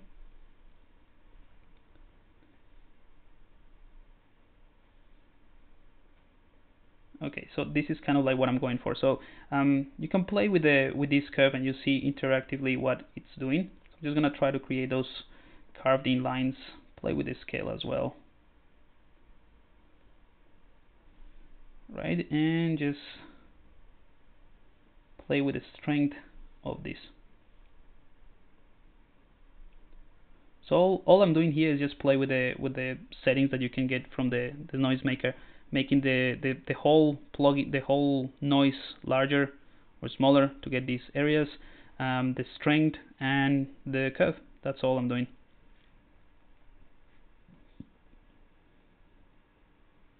Alright, so I think something like that looks alright.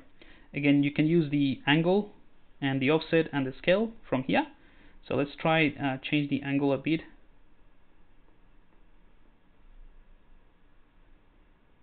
just trying to re um, reposition some of the the details so it doesn't look kind of like straight in the in the face uh, like this area is like too big compared to these areas so let's we can try it offset as well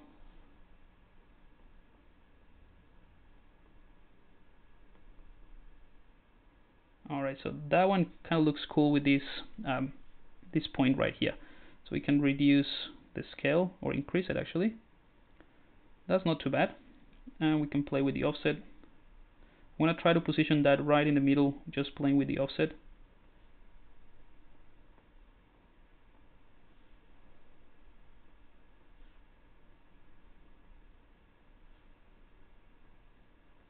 Right, and we can scale this down a bit more.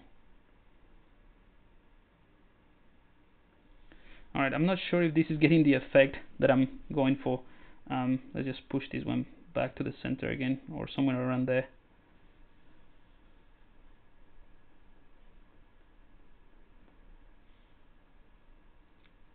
hopefully you can hopefully you know what I'm trying to do um, this is gonna take a bit of you know back and forth just trying to get the right the right angle I mean this is you can just come back and refine this later Alright, let's play with the with the curve again.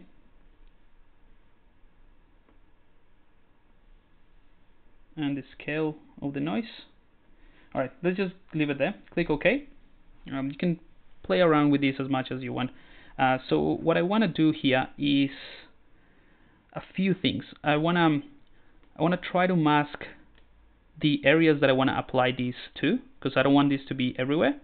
Um, so for example, we can go to masking and let's go to smoothness and click my mask by smoothness so you'll see it gets masked very well very evidently the the areas that are not very smooth so in these areas the noise plugin or the noisemaker or the surface is not going to be uh, applied to.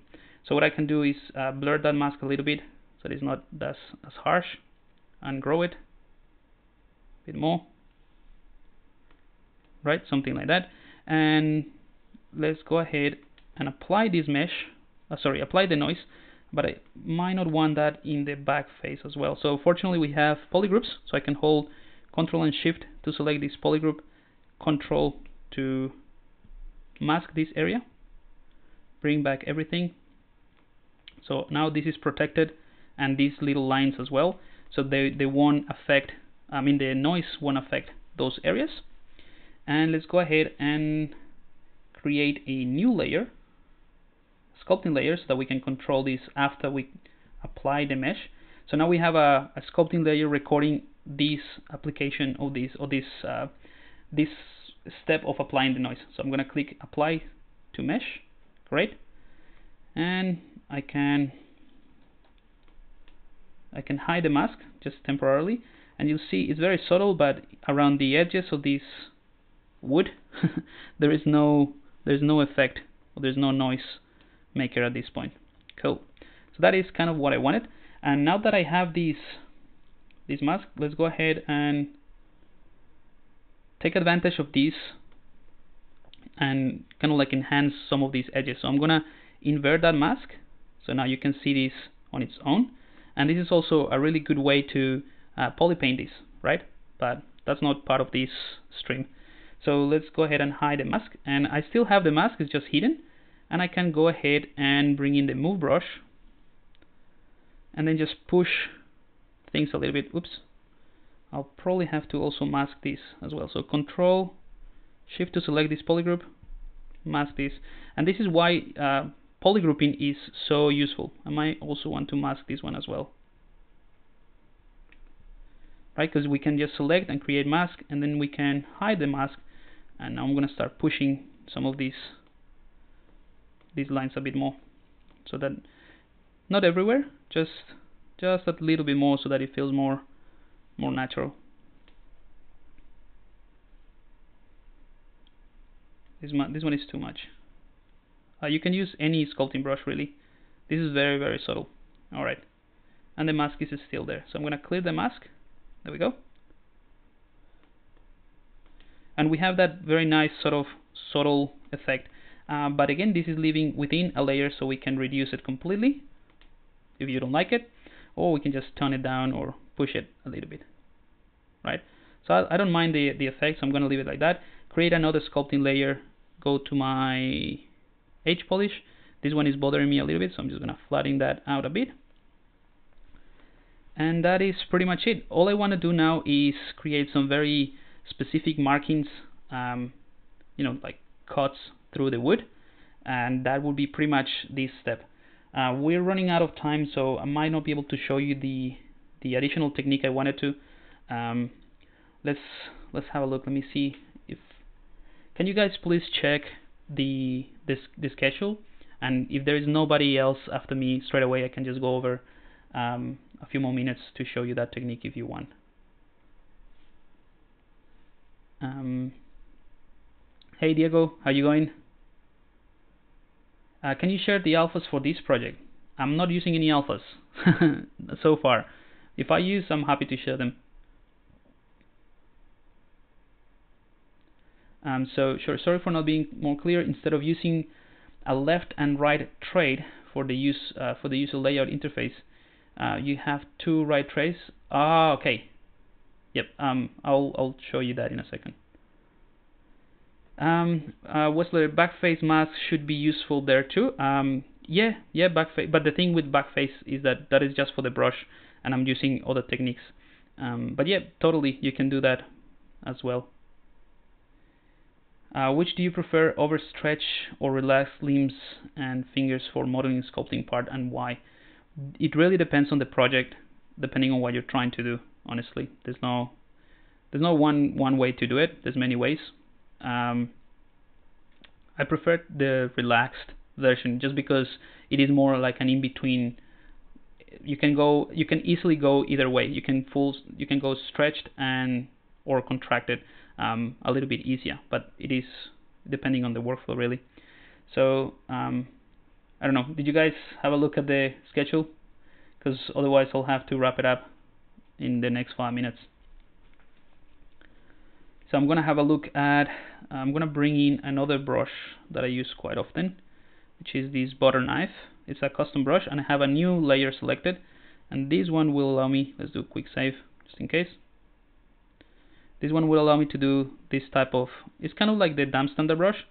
It just has, actually I want something stronger than that. Um, let me bring in another,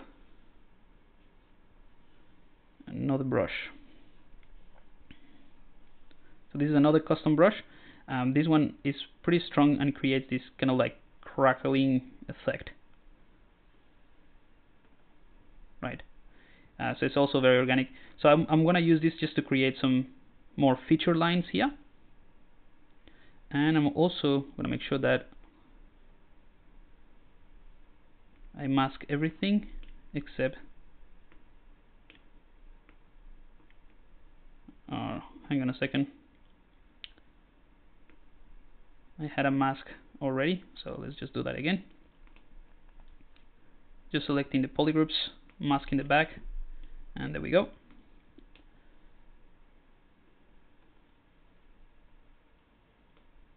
So these ones are just gonna be some kind of straight lines coming from the top maybe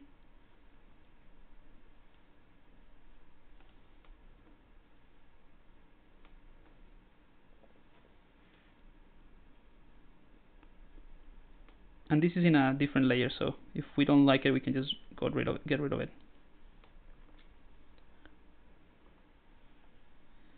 And this is something that you can also do with um, with the noise plug but because it was sort of playing around um, I mean it wasn't too too reliable before. I'm just gonna stay away from it and do it manually. So you'll see here we can the the back of this mask. So this is going through here which is not good. So that's why it's good to have it within a mask. You can also use this, the, the morph target right? So just gonna reduce it a little bit clear the mask.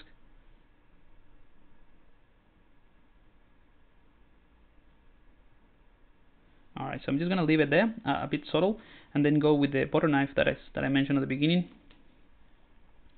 and we can do a new layer and then just push this a bit more. Uh, you know what, the dam standard brush should be perfectly fine for this job as well.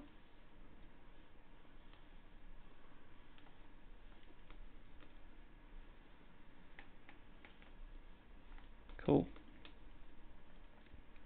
I can see some problems here um, around the edges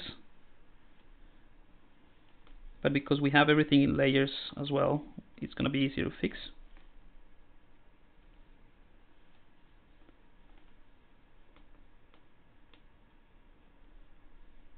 let's have a look.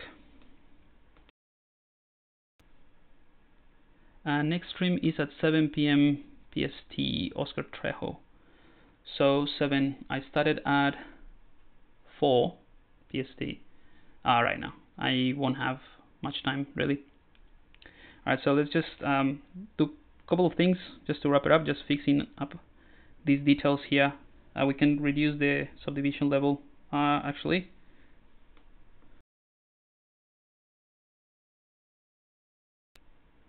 um, what I'll do before, I'm just gonna bake these layers. Uh, if you want to keep them, what you can do also is do a duplicate of this mask uh, so that you can keep both versions. I'm just gonna bake them all and go into this uh, um,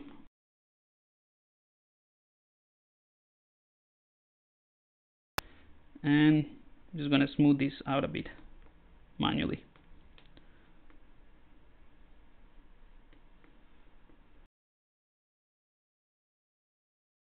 So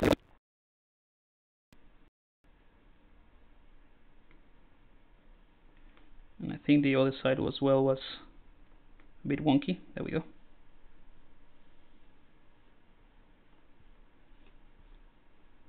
That's not too bad. Cool. So um, thanks by the way for checking that out. Oops.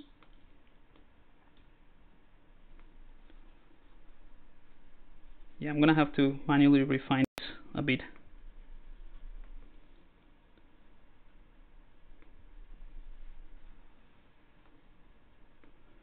We can actually uh, polish by by edges. Let's see if that let's see if that works.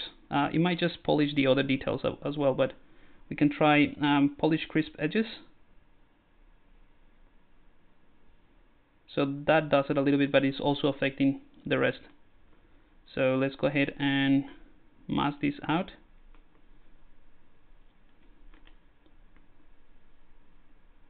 Not mask it out, so select it. There we go.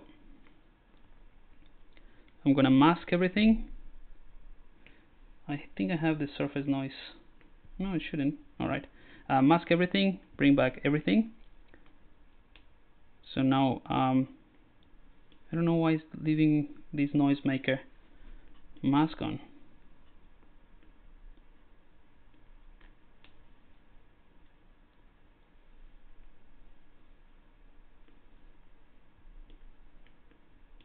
All I'm trying to do here now is just mask these ones without anything else.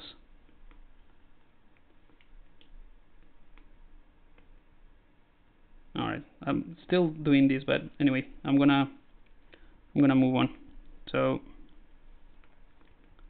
select that, mask that, bring back everything, invert that masking, and we can just more like more freely we can bring in the smooth stronger. There we go, and just smooth this out a bit more. And because we have everything else masked, uh, we can actually blur the mask a bit. So masking, blur mask. Okay, so we can smooth this area so that we don't have those weird um, intersecting edges.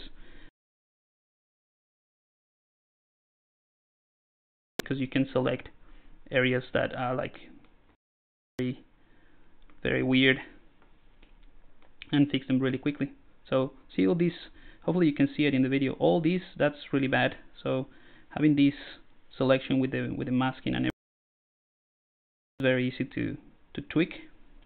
And I'm using the smooth stronger to to be able to smooth as fast as you can see here in the highest subdivision level. Cool. So I think that is pretty much it. Let's clear that mask, do a quick save, and we'll have a look at what the progress that we did today um, it's not much, so I'm probably gonna do a little bit more, just to a, a few more refine, refinements, and then we continue with other stuff in the next stream. All right, so any, I don't know if you guys have any other questions uh, or uh, things that you want to know about this before I wrap it up.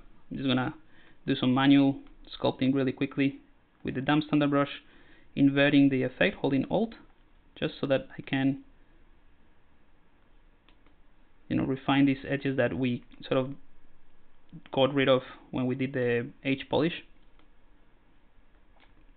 and refining these these crevices as well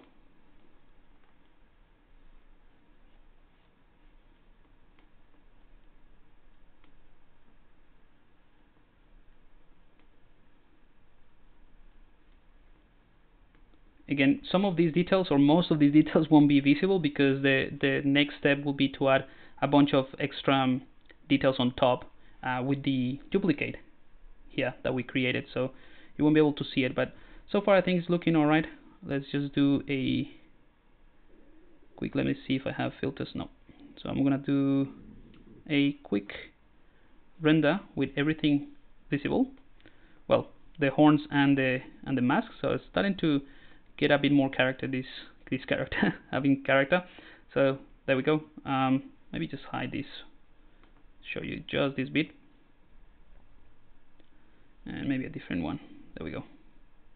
So uh, quite a bit of progress in, in terms of the details. We use a few different techniques more manual stuff for the horn uh, as well as using the morph target and the layers. And for the face we just uh, mainly use uh, just as a quick recap we use the ZModeler and some noise noisemaker to create this this type of effect. So um, it's pretty it's pretty slow the progress that we made today, but we have some minor um, mistakes and and crashes. So hopefully hopefully next time we can do we can move a little bit faster. So Oscar Trejo is next in about an hour, I think. Um, yeah, I think it's about an hour. So we'll leave the the other technique uh, for for the next stream. Uh, the next technique is going to be again adding some details. Uh, where are we? I think, I don't have the I don't have the spotlight with me, but basically we're gonna add some some nice details around the the, the mask and having the the feathers. Um, so what I'll do is just um, like off off camera, um, I'm gonna tweak the the body a little bit. It's not to be uh, you know the body is not going to be very visible so you're not going to miss much. Um, so I'm just going to try to leave everything ready for the next stream to just uh, start to do just the fun part uh, like I said adding some details in here for the character and on the on the fiber mesh the fiber mesh is going to be relatively simple I'm just going to show you some cool techniques of how to uh, groom the fiber mesh uh, but the main thing that I wanted wanted to show you today was the the PolyGroupIt uh, technique, but we'll do that. We'll do that in the next um, in the next in the next stream. Just removing this a little bit. All right. So yeah, so I'm gonna leave it here, guys, because again we have to give it a bit of a space between between the streams so that Oscar can um, do all his stuff and preparation. So anyway, uh, hopefully you you find this interesting. Next next stream will uh, definitely hopefully we'll have um, less technical issues and hopefully we'll um, be able to continue and progress a bit faster uh, with the with the font techniques. So thanks so much for stopping by. Uh, hopefully you you find this interesting and informative as well. I do really have a lot of fun in these little um, streams. Uh, I'm probably going to be streaming as well ne- next month. Uh, we just need to wait for Kyle to to produce the the schedule for the next month, but uh, hopefully it will be the same day, same same time. But if not, I'll let you guys on social media. Um, if you follow me on Instagram or anything like that, that's where I most uh, most regularly update stuff. Um, so yeah, awesome. Thank you so much, guys, and I'll see you next week. Have a good one. Cheers.